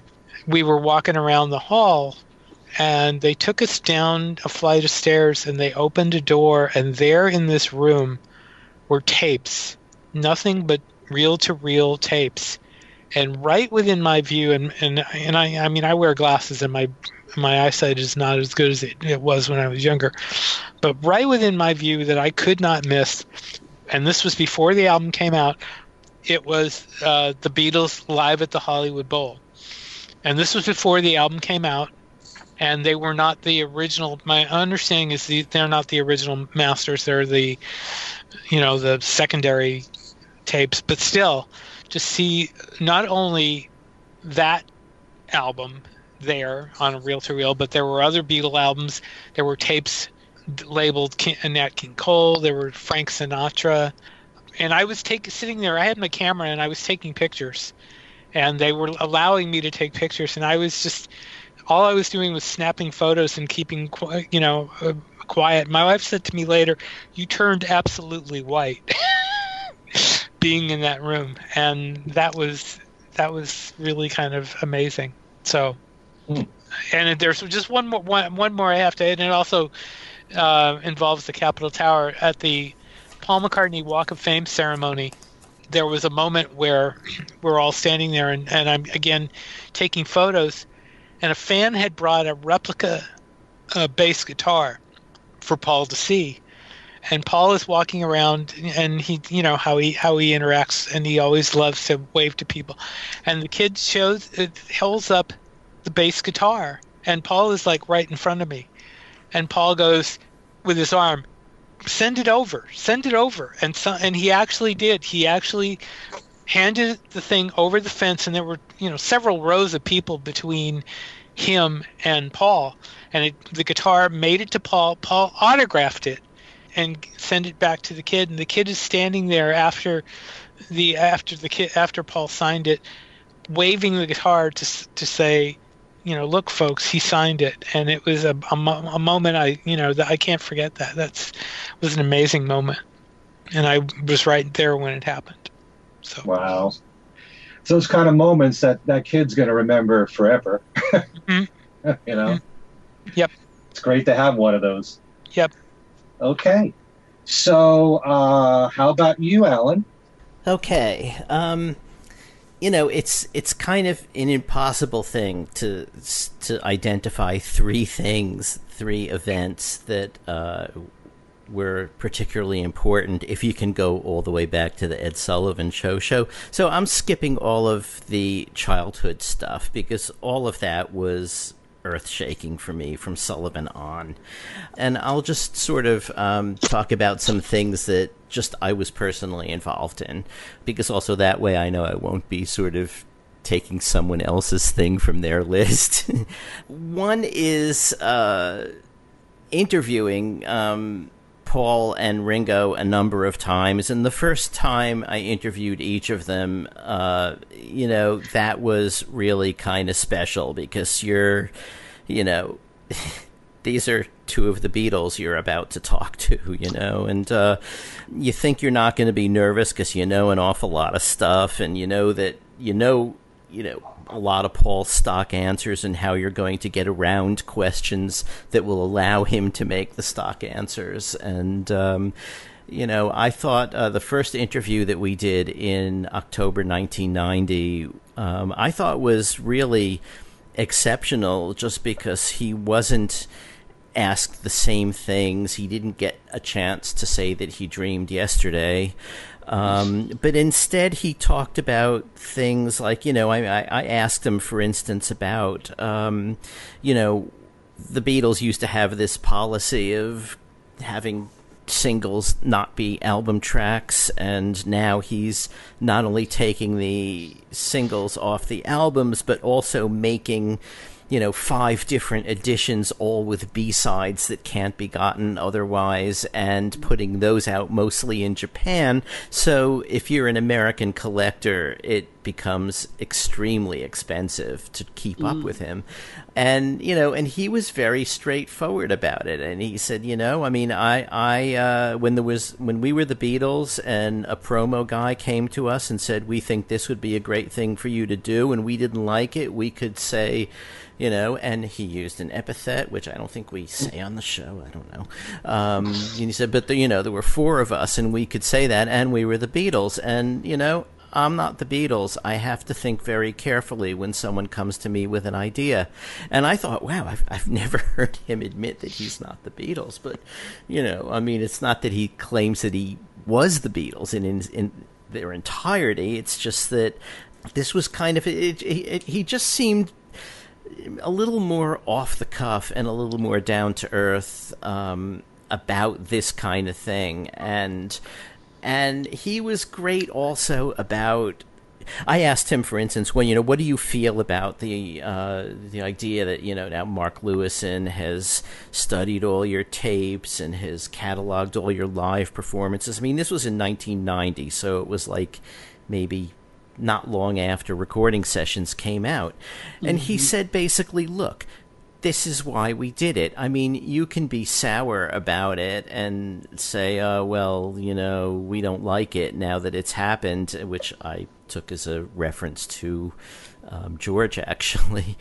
And in fact, I took it as a reference to George because after the interview, he was talking about what he called George's sour period. Um, and but mm. but he said, you know, we did it for this. We did it to become famous. We did it so that everybody would, you know, want to know all all about us and all of our stuff and listen to everything. And he, the way he ended that quote, which is what I ended my piece with for the the New York Times when uh, when I wrote it up was he said, you know, when you're as good as the Beatles were, or maybe even said when you're as great as the Beatles were, and you did things that were as interesting as the Beatles did, you have to expect for that kind of scrutiny, you know. And it was, uh, you know, it was a really good quote. It's it's better than I've just done. Uh, you can look up the story at nytimes.com, except that the story as they printed it, was a little bit bowdlerized because the editor of the arts and leisure section at that time read it and said, well, it's a little self serving of him to say when you're as great as the Beatles are and all that. And I'm sitting there saying, it's the Beatles. Nobody, nobody will argue with this. He's well, you know, you have to tone it down. You have to cut some of that stuff out. And I but thought the com- the complete interview though uh, did appear in Beatle shortly thereafter in Beatlefan. That's right. That's right. That was another um, cool thing that you know because of um, I had a long relationship with Bill going back to not the very early days of Beatles fan, but uh, you know, Mm, early, late 80s. early, early, eno- early enough. Yeah, I guess mid '80s actually. I mean, I think I did Yeah. the first CD review that they ran. So um, yes. Yeah, so that would make it even early 80s. Wow, oh, time flies. And Yep. so what I would do is that whenever I did any Beatles related interviews for the Times, um, I would send Bill the complete QA. So um, those things, you know, if you get a hold of Beatlefan back issues, or if you happen to have them, I mean, all that stuff is in there. Ringo interviews, Paul. Um, Yep. and so another another sort of you know signal event that I wanted to mention was the anthology interviews. Um, I was covering the anthology for the Times as well um, as an advance piece, not as a review, and so that led to a series of interviews that was just like you know being in paradise. I mean, I gotta say, um, I interviewed Paul in New York about it. I interviewed Ringo in New York about it because they were coming through, and then I flew to London. Derek Taylor was like my minder for the you know maybe four days or so that I was there. So we would go to lunch, we would hang out in a boardroom and just talk about stuff, or I'd hang out in his office. He had a wall full of bootleg videos behind him. Um, yeah, he had it all. You know, they they're aware of what's out there, and uh, he he arranged my schedule of interviewing people. And said, okay, now you're gonna you can go here and do this and that, and otherwise I was just hanging around. I got to see the TV edits or the British TV edits. Actually, they were preliminary edits because I had some comments about one of them and ended up talking to Bob Smeaton by phone a bit later because I thought that the way they had done the transition from Rubber Soul to Revolver wasn't clear. I mean, they're talking about Rubber Soul and then suddenly they're saying, and then we needed to write a song for Ringo and they're on to Yellow Submarine. Uh, and I thought that there really needed to be a, a, you know, more of a distinction there. And he called and we talked about it. I'm not sure exactly what they did, but I, I think I think the distinction was clearer. So Derek is like my babysitter in a way, you know, and that was a lot of fun because you know we're just we're talking about all kinds of stuff. I interviewed Neil Aspinall, Chips Chipperfield, George Martin, Geoff Emerick, Bob Smeaton, Geoff Wonfor, and then you know in between it all, I had dinner with Mark Lewisohn, and he so he told me a lot of other background stuff because he was involved in that production. I mean, he was the one who George Martin went to with the acetate of "Love Me Do." Uh, that he'd found in his cupboard that had Pete Best on it, and uh, you know, and the "Please Please Me," and uh, said, you know, what do you think this is? And and Mark actually identified it, you know, through process of elimination. It wasn't labeled properly. It was just an acetate that George found in his house. So Mark gave me a lot of background too, and uh, you know, that was you know for the, the maybe 12 to 1500 words that I got from the Times, um, I was able to cover the story okay, uh, you know, in a very compressed way, but I had all those interviews, which are also all in Beatlefan. Um, Yep. Wow. I- I'm I'm sort of lumping that all together as the second thing after the first interview with Paul, and then I guess the third. I mean, I've I've seen them in various. I never saw the Beatles all together. Never saw John perform live. Did see Bangladesh. Saw you know maybe I don't know how many Paul McCartney shows in every kind of way and a lot of all star band shows. But I want to single out one Paul McCartney show, which was the I think it was VH1 up close. It wasn't MTV, right? It was, it's hard to remember which was which. Um, I think you're right. yeah, Yeah. so the up close shows uh, at the Ed Sullivan Theater.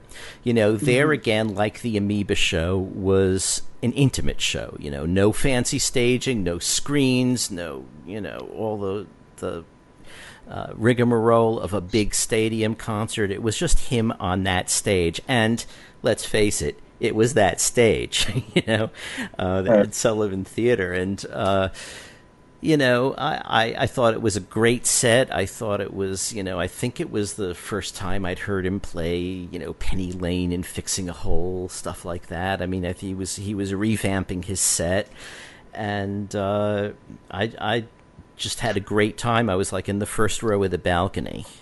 And Was that the um, the day before the nor'easter or the the day of the nor'easter? Because Bill was supposed to be there, and he Ah. couldn't couldn't make connections from Atlanta.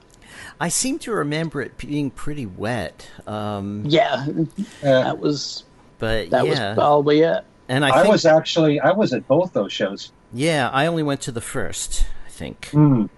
Okay. So, yeah. So uh, I guess that's my allotment.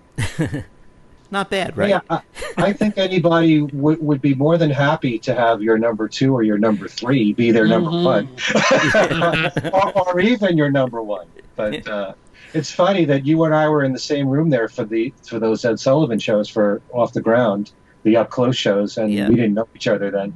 Right. But uh, yeah, uh, those were some shows too. They really were.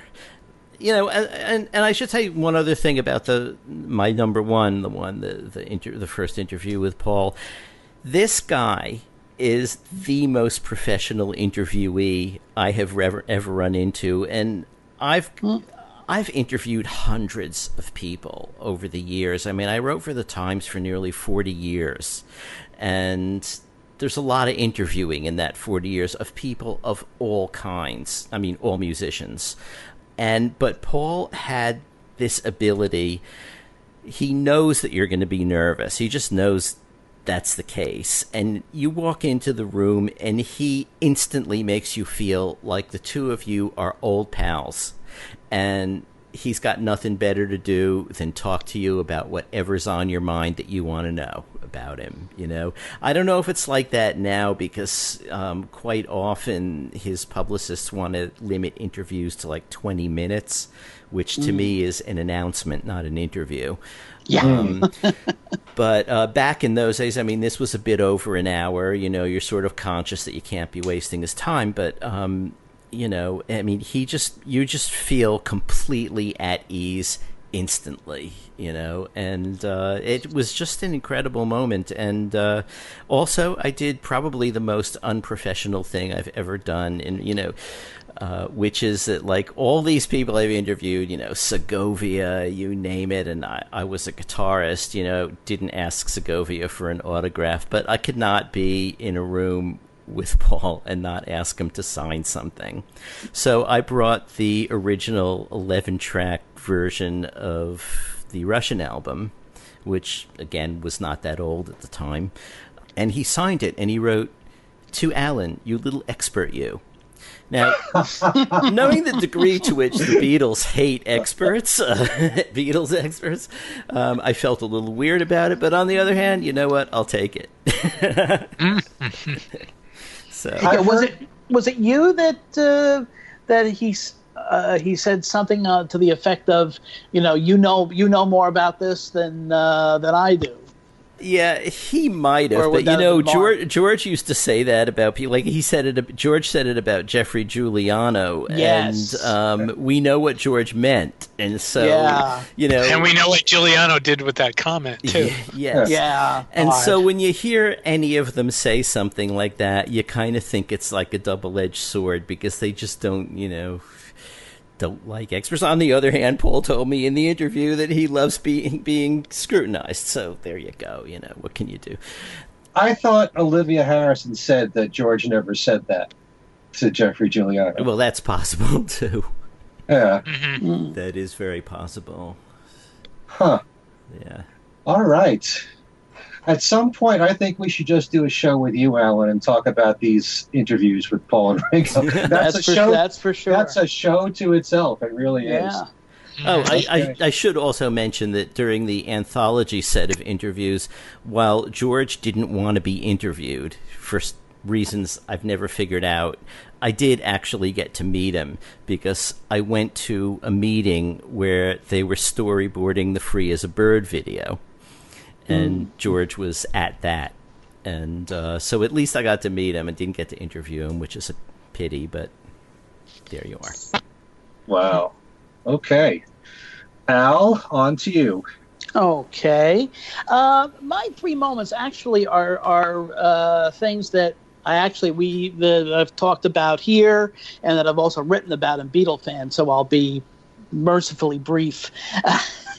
the first one is actually the uh, the night that I became a Beatle fan, which was not February 9th, 1964. It was the following week. It was, it was the uh, the second Sullivan show. I had I had resisted uh, all of this this hype and these girls going crazy for a group they hadn't heard of a month before and all this. And I pretty much took the the attitude of okay, Beatles, show me how good you are. And the first Sullivan show didn't quite do it, but the second show did, and I realized years later why. Uh, was because they were they were playing uh, not in the confines of a TV studio, but in in a hotel ballroom on a small stage where they were very close together, and they were only a few months removed from playing those types of shows in ballrooms in England, and so they were very much in their in their element. And the the sound mix for what it was seemed to be particularly um, uh, favoring Paul's bass and Ringo's drums, and I mean that's the you know part of the you know the secret sauce of what made the Beatles so great was that rhythm section, and so that finally got to me, but also. And may have, may have been that moment was when they uh, when John, Paul, and George gathered around the, the, the microphone and did this boy. And as a 14 year old, I thought that was just incredibly cool. Mm. And uh, that was pretty much what uh, what made me what made me a fan. Uh, the second one is actually now I never I uh, like Allan I never saw the Beatles um, in concert as a group. In fact, I don't know. I don't know of any males. I've never talked to any males who actually did see Beatles concerts. They're obviously they were there because you can see it in the footage, but I've never talked to one. So my first exposure to Beatlemania, in a sense, was seeing uh, was seeing a Hard Day's Night for the first time, and that was on a uh, on a hot August afternoon in, in 1964 at the the now long demolished Fox Theater in Hackensack, New Jersey, and on a very long line wind to, which took a couple of hours to wind into the theater uh, we ended up uh, sitting in the uh, in the balcony, and by the time we got in there, the first movie, which was a double feature for those of you who remember double features, uh, which was a mediocre Elvis film called Girls, Girls, Girls, uh, was ju- was just about to end to a chorus of boos. And then fortunately there were uh, there were there were no featurettes or anything in between, and there was that you know sort of a flash and the well the, the United Artists logo if you remember, and then then that flash, and then you see the Beatles running up the uh, the street uh, to a hard day's night. And I've never heard and and and in fact all of that wonderful dialogue from you know what I think most people consider the you know the the finest of of the Beatles films uh, I never heard any of it because it was an hour and a half of pretty much nothing but screams especially when uh, when Paul McCartney would come on the, on the screen. Mm-hmm. You know, it was uh, uh, was no question about that. But it was uh, I've never heard such. The only the only time I've heard anything approaching that kind of noise in a movie theater was the premiere of Return of the Jedi in May of 1983, which got this massive standing ovation at the end of the film. But uh, that hmm. was, as I said, that, uh, not having gone to a Beatles concert, that was that was my uh, pretty much my my first encounter live with uh, with Beatlemania. And the third one is uh, fact, we talked about this just before I, uh, just before my departure from the show, and that was uh, my uh, my first listen, at least to the first listen to the record, actually, of uh, of Sergeant Pepper. Uh, that I remember pretty, you know, I mean, I don't remember specifically where I was and what I was doing when I purchased each Beatles album, but I certainly do with Sergeant Pepper. And that was, um, you know, in again on that same on that same street, Main Street in Hackensack, uh, at a long uh, shuttered record store called the Relic Rack, and uh, picked up my copy and basically you know, got home as quickly as I could and put it on, and it was uh, even without, you know, you know, didn't have a. I had a pretty much just a, you know, crappy mono fold-out record player. It'd be another year or so before I got my first stereo, and but just just hearing it for the first time in mono on that crappy little record player. It was um, it was just amazing, and listening to it and realizing.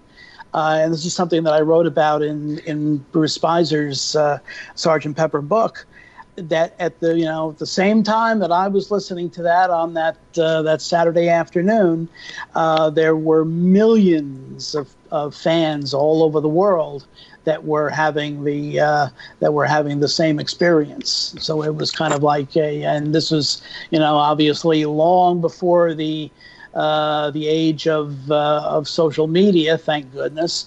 Uh, and uh, but even without all that, you know, you could. It was it was the it was a commute a very much a communal experience and um, so that you know those are my three moments and i will give an honorable mention to May 21st, 1976, at the Nassau Veteran Memorial Coliseum. Uh, I never, as I said, never saw the Beatles live, never saw, didn't see uh, the concert for Bangladesh or One to One or any of the shows on the Dark Horse tour. So this was my first time seeing a Beatle on stage, and uh, it was the Wings Over America uh, show, and uh, it's. Um, uh, that's another one that will be, you know, burned into my memory for uh, for for good. So those are my those are my moments. Well, that's really powerful stuff, Al. Thank you. I Thank mean, you. these are th- these are things that that we all carry with us that stick out in our memories. You know, some things stick out more than others. Absolutely, they're all just so powerful, and you realize as you get older, you can get very emotional, even oh, thinking yeah. about some of these things. In fact, I remember you saying on the show that when you saw Wings, and Paul did yesterday, you were oh yeah you, you were crying. it took me it took me all through. You gave me the answer to kind of get myself back together. Wow, that's that's really something. All right, so we'll get to my top three Beatle moments, and I have to say, for what ranks in third place, it's really a tie. It's really tough to decide between these two. But I have to say, seeing Paul at the Mean Fiddler um, was really something. Um, that was a, a, show that I did not expect to see.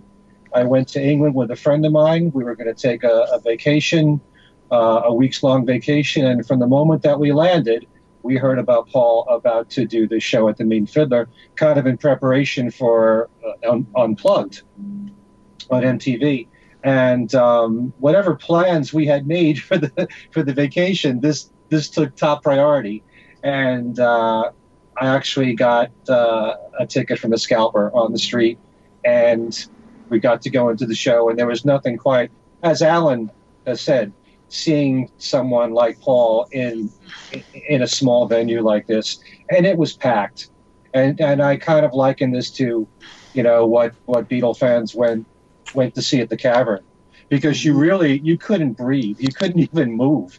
I was standing in the same spot for a couple of hours. I really couldn't move my feet. And um, i couldn't have been any more than maybe 15 to 20 feet in front of paul. And he did two sets during the show. He did an acoustic set and an electric set.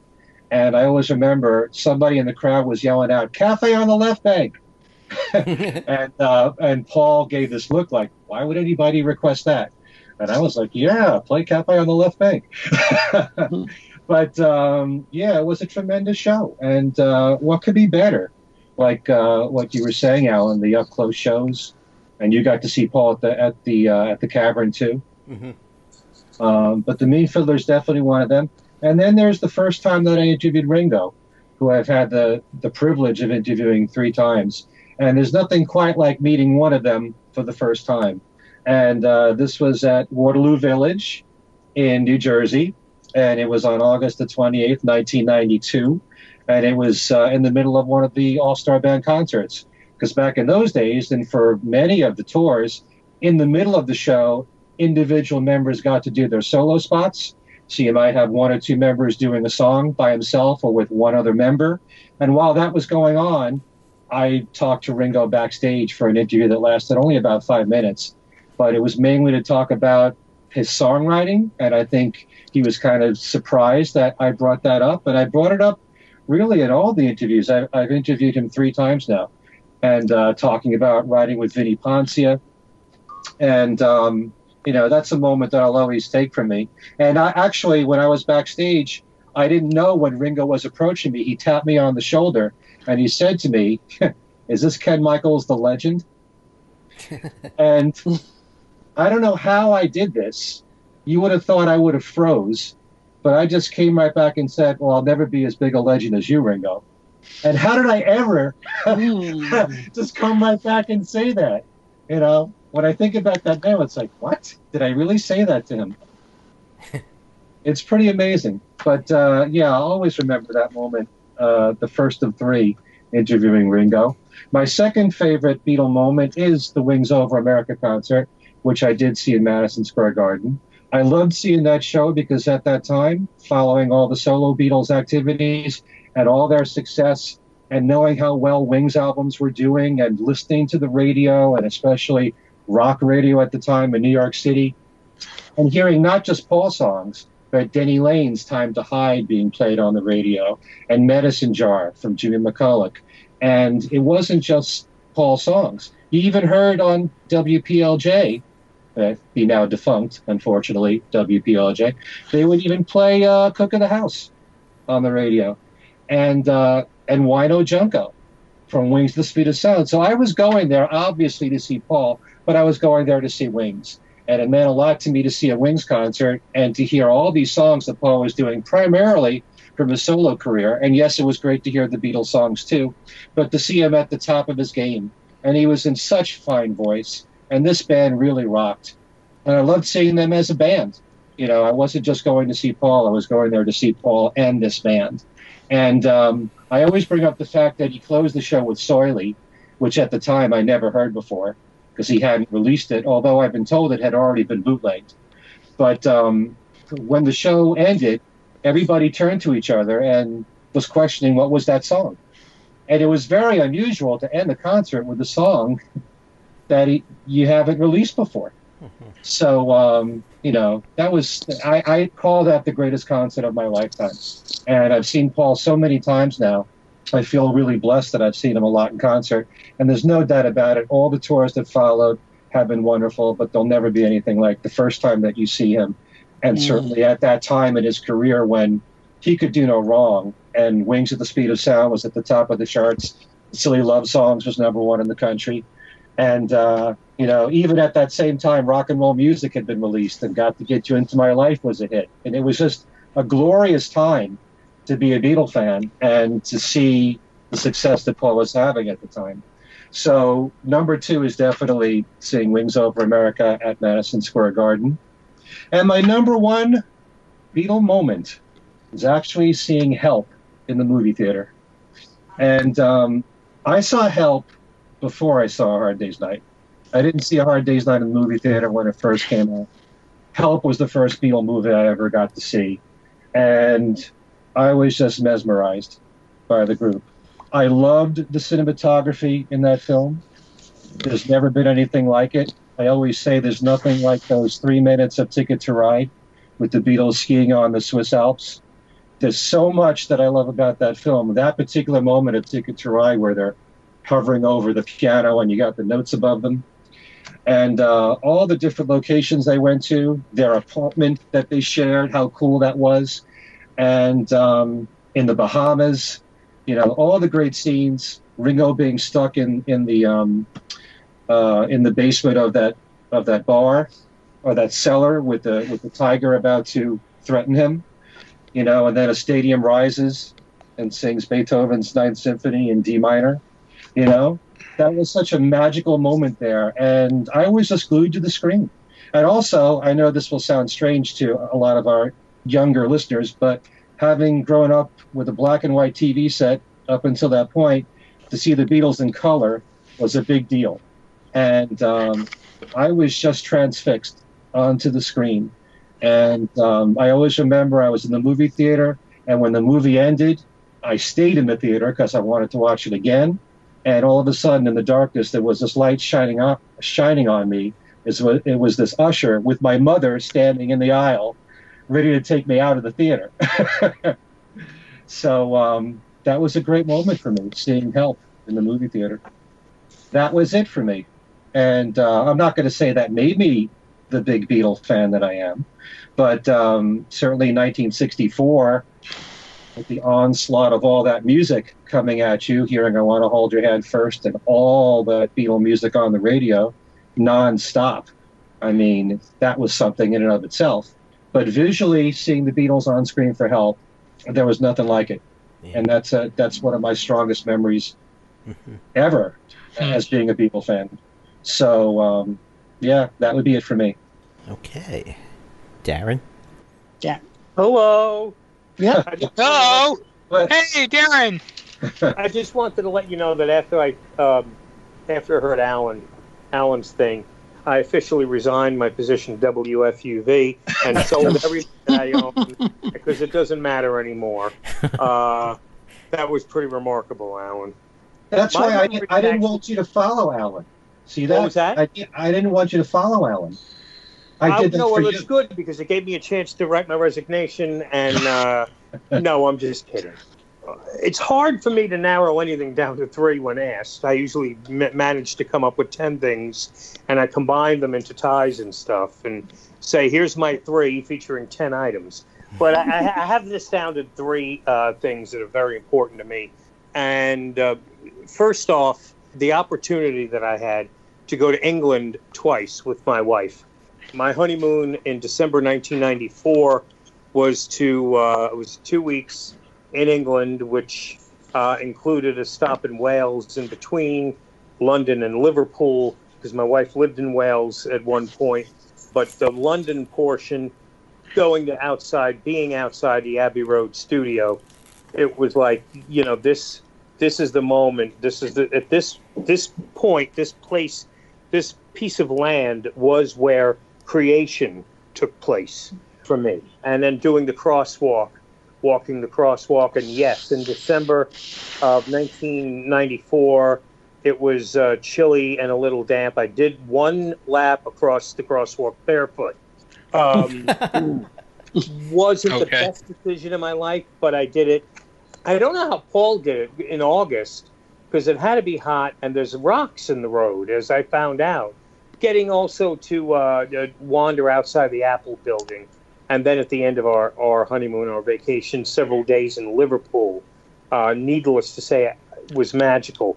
But I had no idea that it was going to be one upped uh, in, I think, 2000, 2008. Uh, my wife just corrected me in the background. I was going to say seven. 2008, we went back to England, and this time I was able to arrange a personal tour of the Abbey Road studios. And not only me, but the whole family my wife, my mother, and the kids. We were all in England. I said, Hey, I'm going to have the whole family with me. No problem. Say, What? No problem? You serious? And uh, we got a personal tour of Abbey Road Studios. Now, specifically, we were brought in, but I guess this is the main place to go. We were brought in Studios 2 and the control room and 3. And that was it, but that was enough.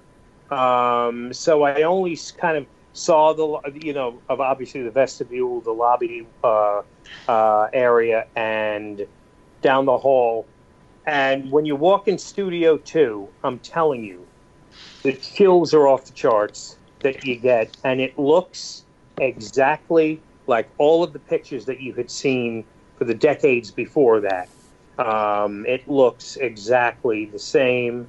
And the piano, probably not the piano, but one of the pianos is right there in the middle of the floor, you know, and it looks like it's been sitting there since the mid 60s because the, you know, the, uh, the furniture is all nicked up and chipped up. And you know how many dozens, maybe hundreds of times the Beatles sat at this piano. And there's my son, who at the time was seven, and my daughter, who was um, maybe uh, nine, plunking away at this piano while the I, I don't know who she was, uh, but the you know the person who worked at Abbey Road that was taking us around on the tour was basically talking to me and my mother and all the facts and whatnot, and I was asking the questions. My wife was given the job to take the pictures, take ten pictures of every corner and everything you see. I don't even think I'll be able to figure out how to use the camera while we're being brought around. And I did the staircase up to Studio Two to the, uh, not the studio to the control room, uh, which is very small and is actually very oddly placed because you can't see where the band is down on uh, you know in the studio floor unless you kind of like if I remember correctly you kind of have to crane your neck a little bit or stand up at the window to see who's down there on the studio floor. And Studio Three, which is uh, if, if memory serves correct, where the uh, All You Need Is Love session took place for the television broadcast, and uh, John Williams did all of his like movie scores in Studio Three, and then of course after that, the crosswalk again with my family and going back to the Apple building. But being in uh, Abbey Road is uh, pretty much, I think, head and shoulders ahead of everything else. And there are pictures. I have to get them on my Facebook radio page. They do exist somewhere on the internet. I got to organize them of, of us walking around, and you'll enjoy the dopey. For those of you who know Patrick from SpongeBob SquarePants with the drool coming out of the corner of his mouth, every shot has me with that look on my face of, of disbelief that I'm actually in this room. And then, uh, you know, uh, kind of a, a, little bit of a second uh, to that was getting to go into the bedroom where John and Yoko's bed in took place in Montreal, which I actually have been in twice now. Both times I've stayed in the hotel, I conned the uh, front desk to uh, allow me and my wife to go check out the suite. Uh, and I recently realized that they've just renovated that suite. So it is, I think, totally done over sort of a John and Yoko museum type of place. When I went, it still resembled what it looked like when you see all the pictures of the Montreal bed in and uh, just being in the room, uh, which is the living room, not the bed. I think they reversed it for the bed in. They put the bed where the living room was. Being in that space where Give Peace a Chance was recorded is pretty magical. Number two for me, and this is just a fleeting photograph memory, being in the Palace movie theater in the Bronx, in Park the Parkchester section of the Bronx, to see Let It Be. Now, Ken saw Help, Al saw Hard Day's Night, Darren saw Let It Be. You might say, big deal. But I was five uh, and had just turned five a couple of months before. And I remember, and this is uh, an indication of what the Beatles were going to end up meaning in my life that I remember for some reason that morning my mother saying, Do you want to go see Let It Be? And being in the theater with a vague memory of them, them being up on the screen and the girls that were sitting behind us were laughing about something. And I thought they were laughing at the Beatles. So I'm this five year old that leans over to his mother and goes, Why are they laughing at the Beatles? Shh, Darren, they're not laughing at the. And uh, the last, the last memory for me, the last key memory was the anticipation leading up to the broadcast of the Beatles anthology special on ABC. Mm. Uh, and I, well, I'm sure what pushed that one off the charts was knowing that at the end we were going to hear a new Beatles song. Yeah. And again, I was five when they broke up, when Let It Be hit the theaters.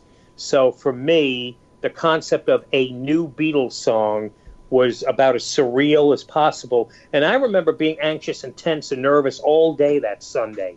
And I was home all day long. It was a, a nothing day. But knowing that at night, this much talked about documentary was going to start airing, uh, and this was in right th- Thanksgiving week 1995. I remember 1010 Wins, the old news station, one of the old news stations in New York City, uh, 1010 WINS.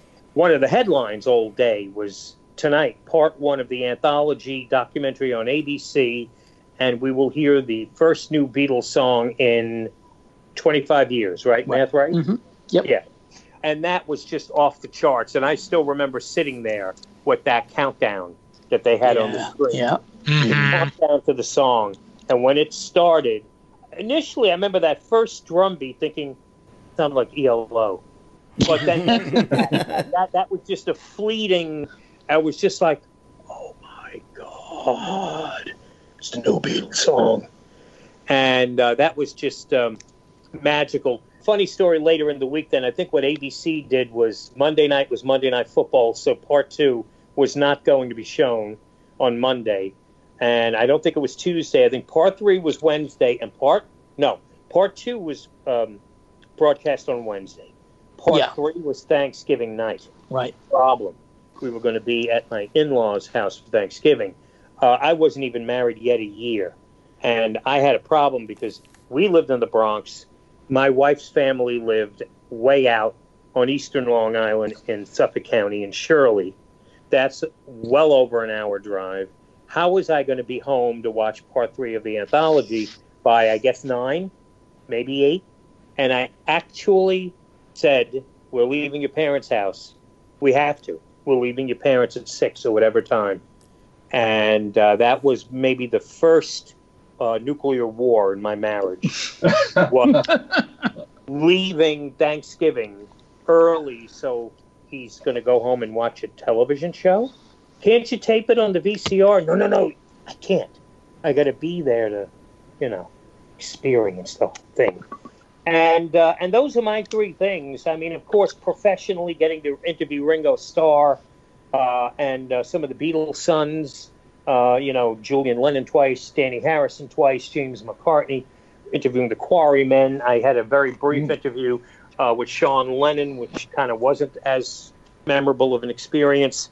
Uh, I though I treasure those, but something about the magic of the three, you know, being in Abbey Road, being in the bedroom, being the crosswalk, seeing Let It Be, and remembering it. And I was five, and uh, you know the anthology broadcast and the hype and the whole anticipation. Those those those I'll never forget.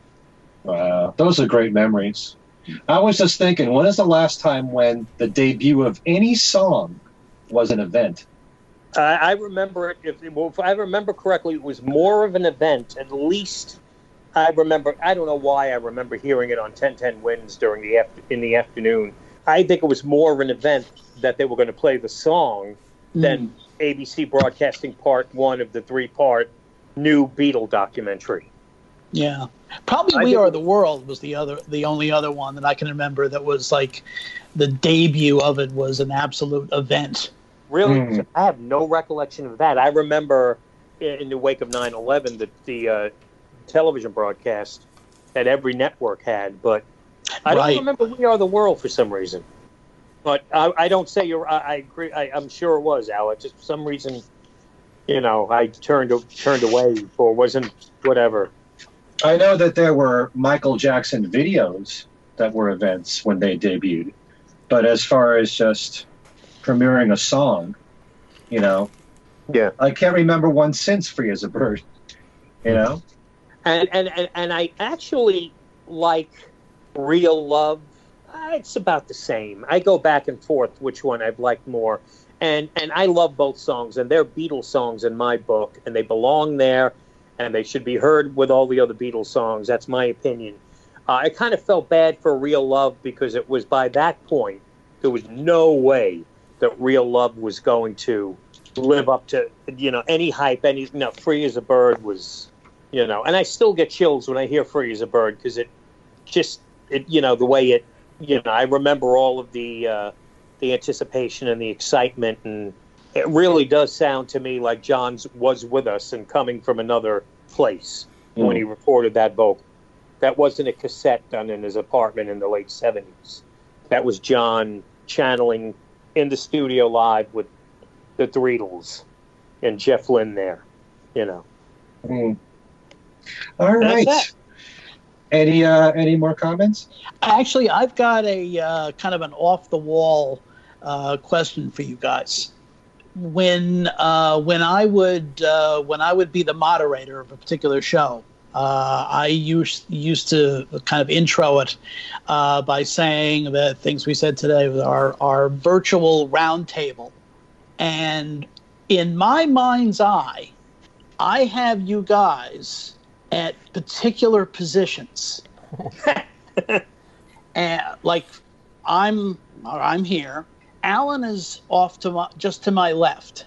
Steve then is off to uh, Allan's left as we go around, and then all the way around on the on the right hand side, but across is Darren. And then Am I Ken- sitting upright? Yeah. and then Ken is to my right, you know, at the you know kind of perpendicular between Darren and me. And I'm just curious if you guys at any either if you always do or at any point if you you know when you're when you're recording the show if you have ever had that kind of thing in your mind's eye of where everybody is or if it's just simply you know they're somewhere else Hmm. There have been occasions. Now, this is just uh, uh, obviously everyone listening. There is no video, uh, Right. But there have been occasions that Allan has flipped on his camera. We've done a couple of shows where you could see Allan, right and once he dozed off and fell off the chair, which was pretty funny. No, I'm kidding. I'm just kidding. It. Uh, but other than that, no. I actually picture. You know what it is for me? I seen Allan flip on, you know, a couple times, like I said, his camera during our shows, and Ken does talk more talk. So I watch them, uh, and that's a podcast with uh, what do you call it? A video podcast. it's a video cast. Yeah, yeah and so I know what Ken would be doing. So Mhm. I, you know, that visual has actually been. Uh, I, I have it already, and I'm very thankful that you guys can't see me. Uh, You laying get in to bed see- with my leg in a brace, uh, elevated. I think that would be fun to see. No, I, it Yeah. would scare children. Uh, and everyone gets to see how messy my den is. What's in those boxes? It's all stuff through the years that I've accumulated, Okay. and a lot of it's from all my beetle work. You know, I've got stuff from WDHA from my years there in this den, and notes from those years. See, my stuff's scattered all over the house. The bathrooms are the only rooms that don't have my stuff in it. Much to my wife's dismay, I can say that now because she's not here. But anyway, uh, it was a thrill for me to get to do a show with Al and with Steve because uh, I listened through the years and, you know, as a fan and never anticipated the day come that, uh, you know, I'd end up on the show. You were a guest a number of times. I yeah, was noticing. yes. Yeah. Yeah, Yeah. yeah, Mhm. that's true. But never, I never thought I would end up being part of permanent part of the show. So this was a lot of fun to actually uh, be a host and have you guys on uh, at the same time. Well, Yeah. thank you. yeah thank you it's uh, it was it was a lot of fun hmm and i appreciate ken inviting us Yes, Well- absolutely. I wouldn't have it any other way. I mean, uh, you're both such a big part of the history. I mean, Steve and I started the show. Where would we be without Steve and you, Al? That's- so. And we've we've built up an audience after all these years because of the relationships that we've had together in this show, and people becoming familiar with each of us, you know, and uh, the chemistry that we've had together. So we owe a lot to both you guys uh, for all your contributions all these years. And um, it goes without saying, anytime you want to be a guest on the show, just let us know. You're welcome anytime. Okay. will Yeah. do Well, thank you. Okay. So why don't we go around and give everybody our contact information? Uh, we'll start with you, Steve. Well, um, I, I'm available on Beatles News and Information on Facebook. I have my own personal page, but uh, I will warn you that it's not all music, um, as some people have complained to me about my some of my postings of politics. But that's the way that goes. But I do have, uh, if I can plug it, I, I do have a, a, my own little podcast called Beatles News Briefs, and the contributing editor is uh, somebody you all know, Candy Leonard, and we have uh, some interesting discussions about about issues uh, from her perspective as well as mine. But anyway, that's uh, available wherever you find your podcast. And I will shut up now. Thank you again, Ken. Thank you again, Ken, for inviting me, and Allan and and Darren. It was good to be with you, and Al. It was good to yeah. talk to you again. Absolutely. And, and Steve, your news show is also heard on Fab Four Radio. Yes, it is. It's also on Beatles-orama. Okay, very good. Al, how about you? Uh, it's pretty much uh, what it's always been. Uh, I'm on Facebook, uh, Al Sussman, uh, and on Twitter at ASUSS49. And I'm also still uh, still involved with the Fest for Beatles fans, and we'll be convening in Chicago in about three and a half weeks. Mm-hmm. And you're gonna, you guys are gonna miss Mark Lewisohn and Jeremy Clyde and Alan. Um, see what happens when you're when you're when you when you get close to seventy. well, the good thing about this show is Alan that White. We, that's his name. we we can edit whenever we want. Yeah, but I'm not and, editing this. Uh, and the and the three wingmen, they'll also be there. You know but uh, but yeah, the the easiest uh, um, way to reach me is uh, either on Facebook or uh, um, or Twitter, and uh, I pretty much just do the the usual almanacky stuff that uh, that I've been doing now for God about ten years now, I think. Mm. Time flies. Sure does. So there we oh, are. and I forgot to I forgot to mention Beatlefan uh, because I'm still very much involved with uh, with Beatlefan. In fact, I've been probably busier there since I since I left things we said today than uh, than I had been in uh, many years. And uh, and so if you you know uh, you know obviously you can. Um, contact me through through Beatlefan www.beatlefan.com doing a lot of archive work uh, these days. Uh, uh, just finished a, doing a piece on how Beatlefan covered Ringo and Paul's return to the road in 1989 and 90. Mm. And uh, and then next will be uh, apropos of what uh, Darren was just talking about, um, how we covered the the whole anthology project. I probably will be in that one. Oh, you'll absolutely, and you're also you're also in the uh, the one on the the the, uh, the Back to the Road uh, mm. one, and you were very much in in the. Uh, we did one on on how how Beatlefan covered the Beatles solo and as a group in the '80s. Mm-hmm. Mm-hmm. Uh, and that. Allan was yeah. very much part of that. So and and it must have it must have inspired Bill to go into the archives because he suddenly brought out a bunch of British invasion pieces that I had done for the sister publication Anglophile around 1989 88 89 and asked me if I wanted to like update those pieces. And uh, along with updating those and part of that is in the the current issue uh, along with that, I realized that I hadn't done pieces at that time on either the Stones, the Who, or the Kinks, and mm. so I did uh, did uh, did pieces on uh, the '60s work of those three groups. We you know really cut it off really with the end of the '60s, or else it would have been a much bigger project. Mm. So yeah. So anyway, so that's pretty much so. Uh, yeah, so Beatlefan is the other the other big outlet these days. A lot of worthwhile stuff there to read. Wow.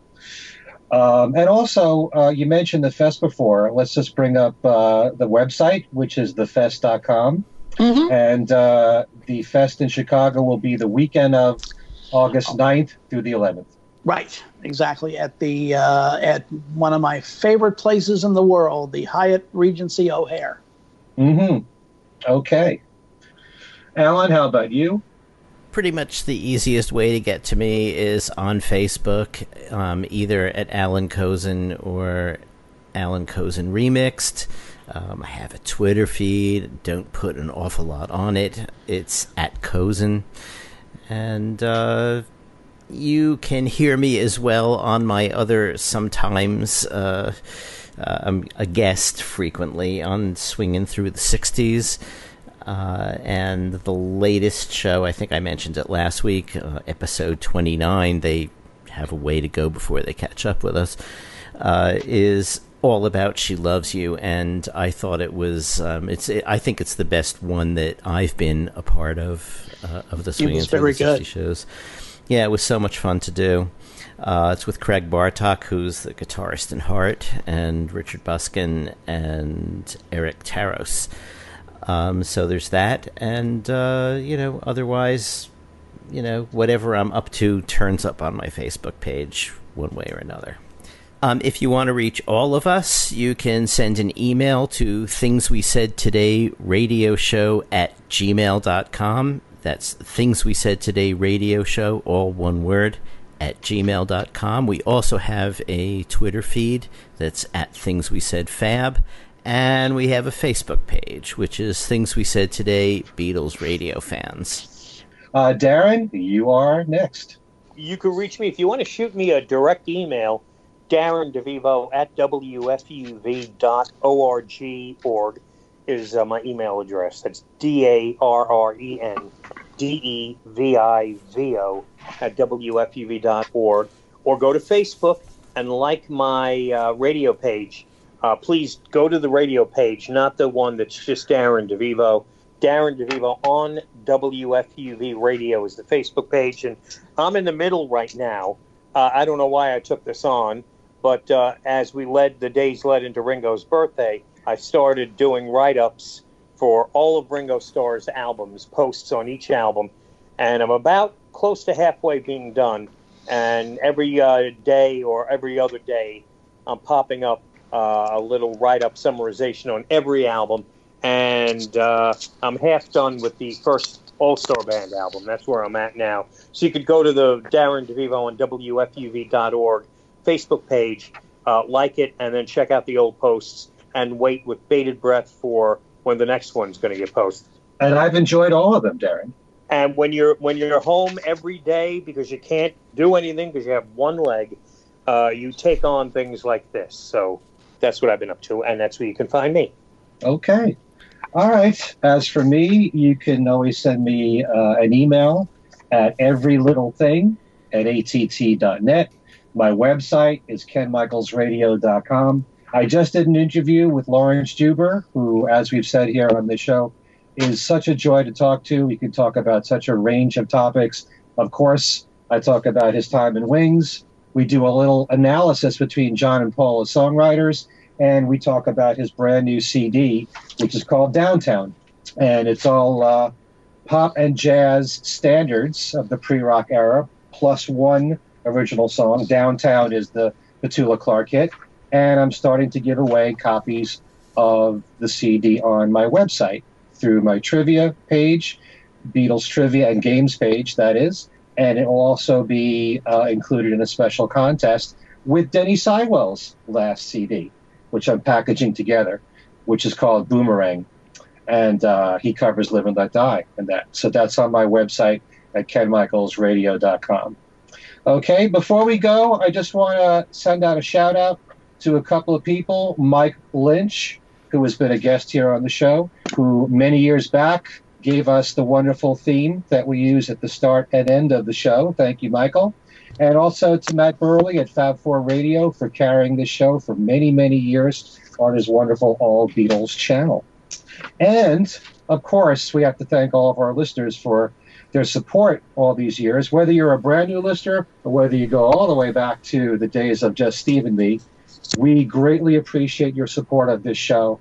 And um, there's nothing like having fans that uh, tune into you, and it's it's really something special that um, I don't think any of us take for granted. When you think about how much time everyone could spend for their entertainment value, the fact that some people actually spend an hour or longer every week or every other week listening to us is such a compliment. And we want to thank all of you who listen for that. It's a privilege to be doing this show. And I just want to thank all of our listeners for, for tuning in when they can. And uh, please spread the word about this show and about all of us and all we do. Okay?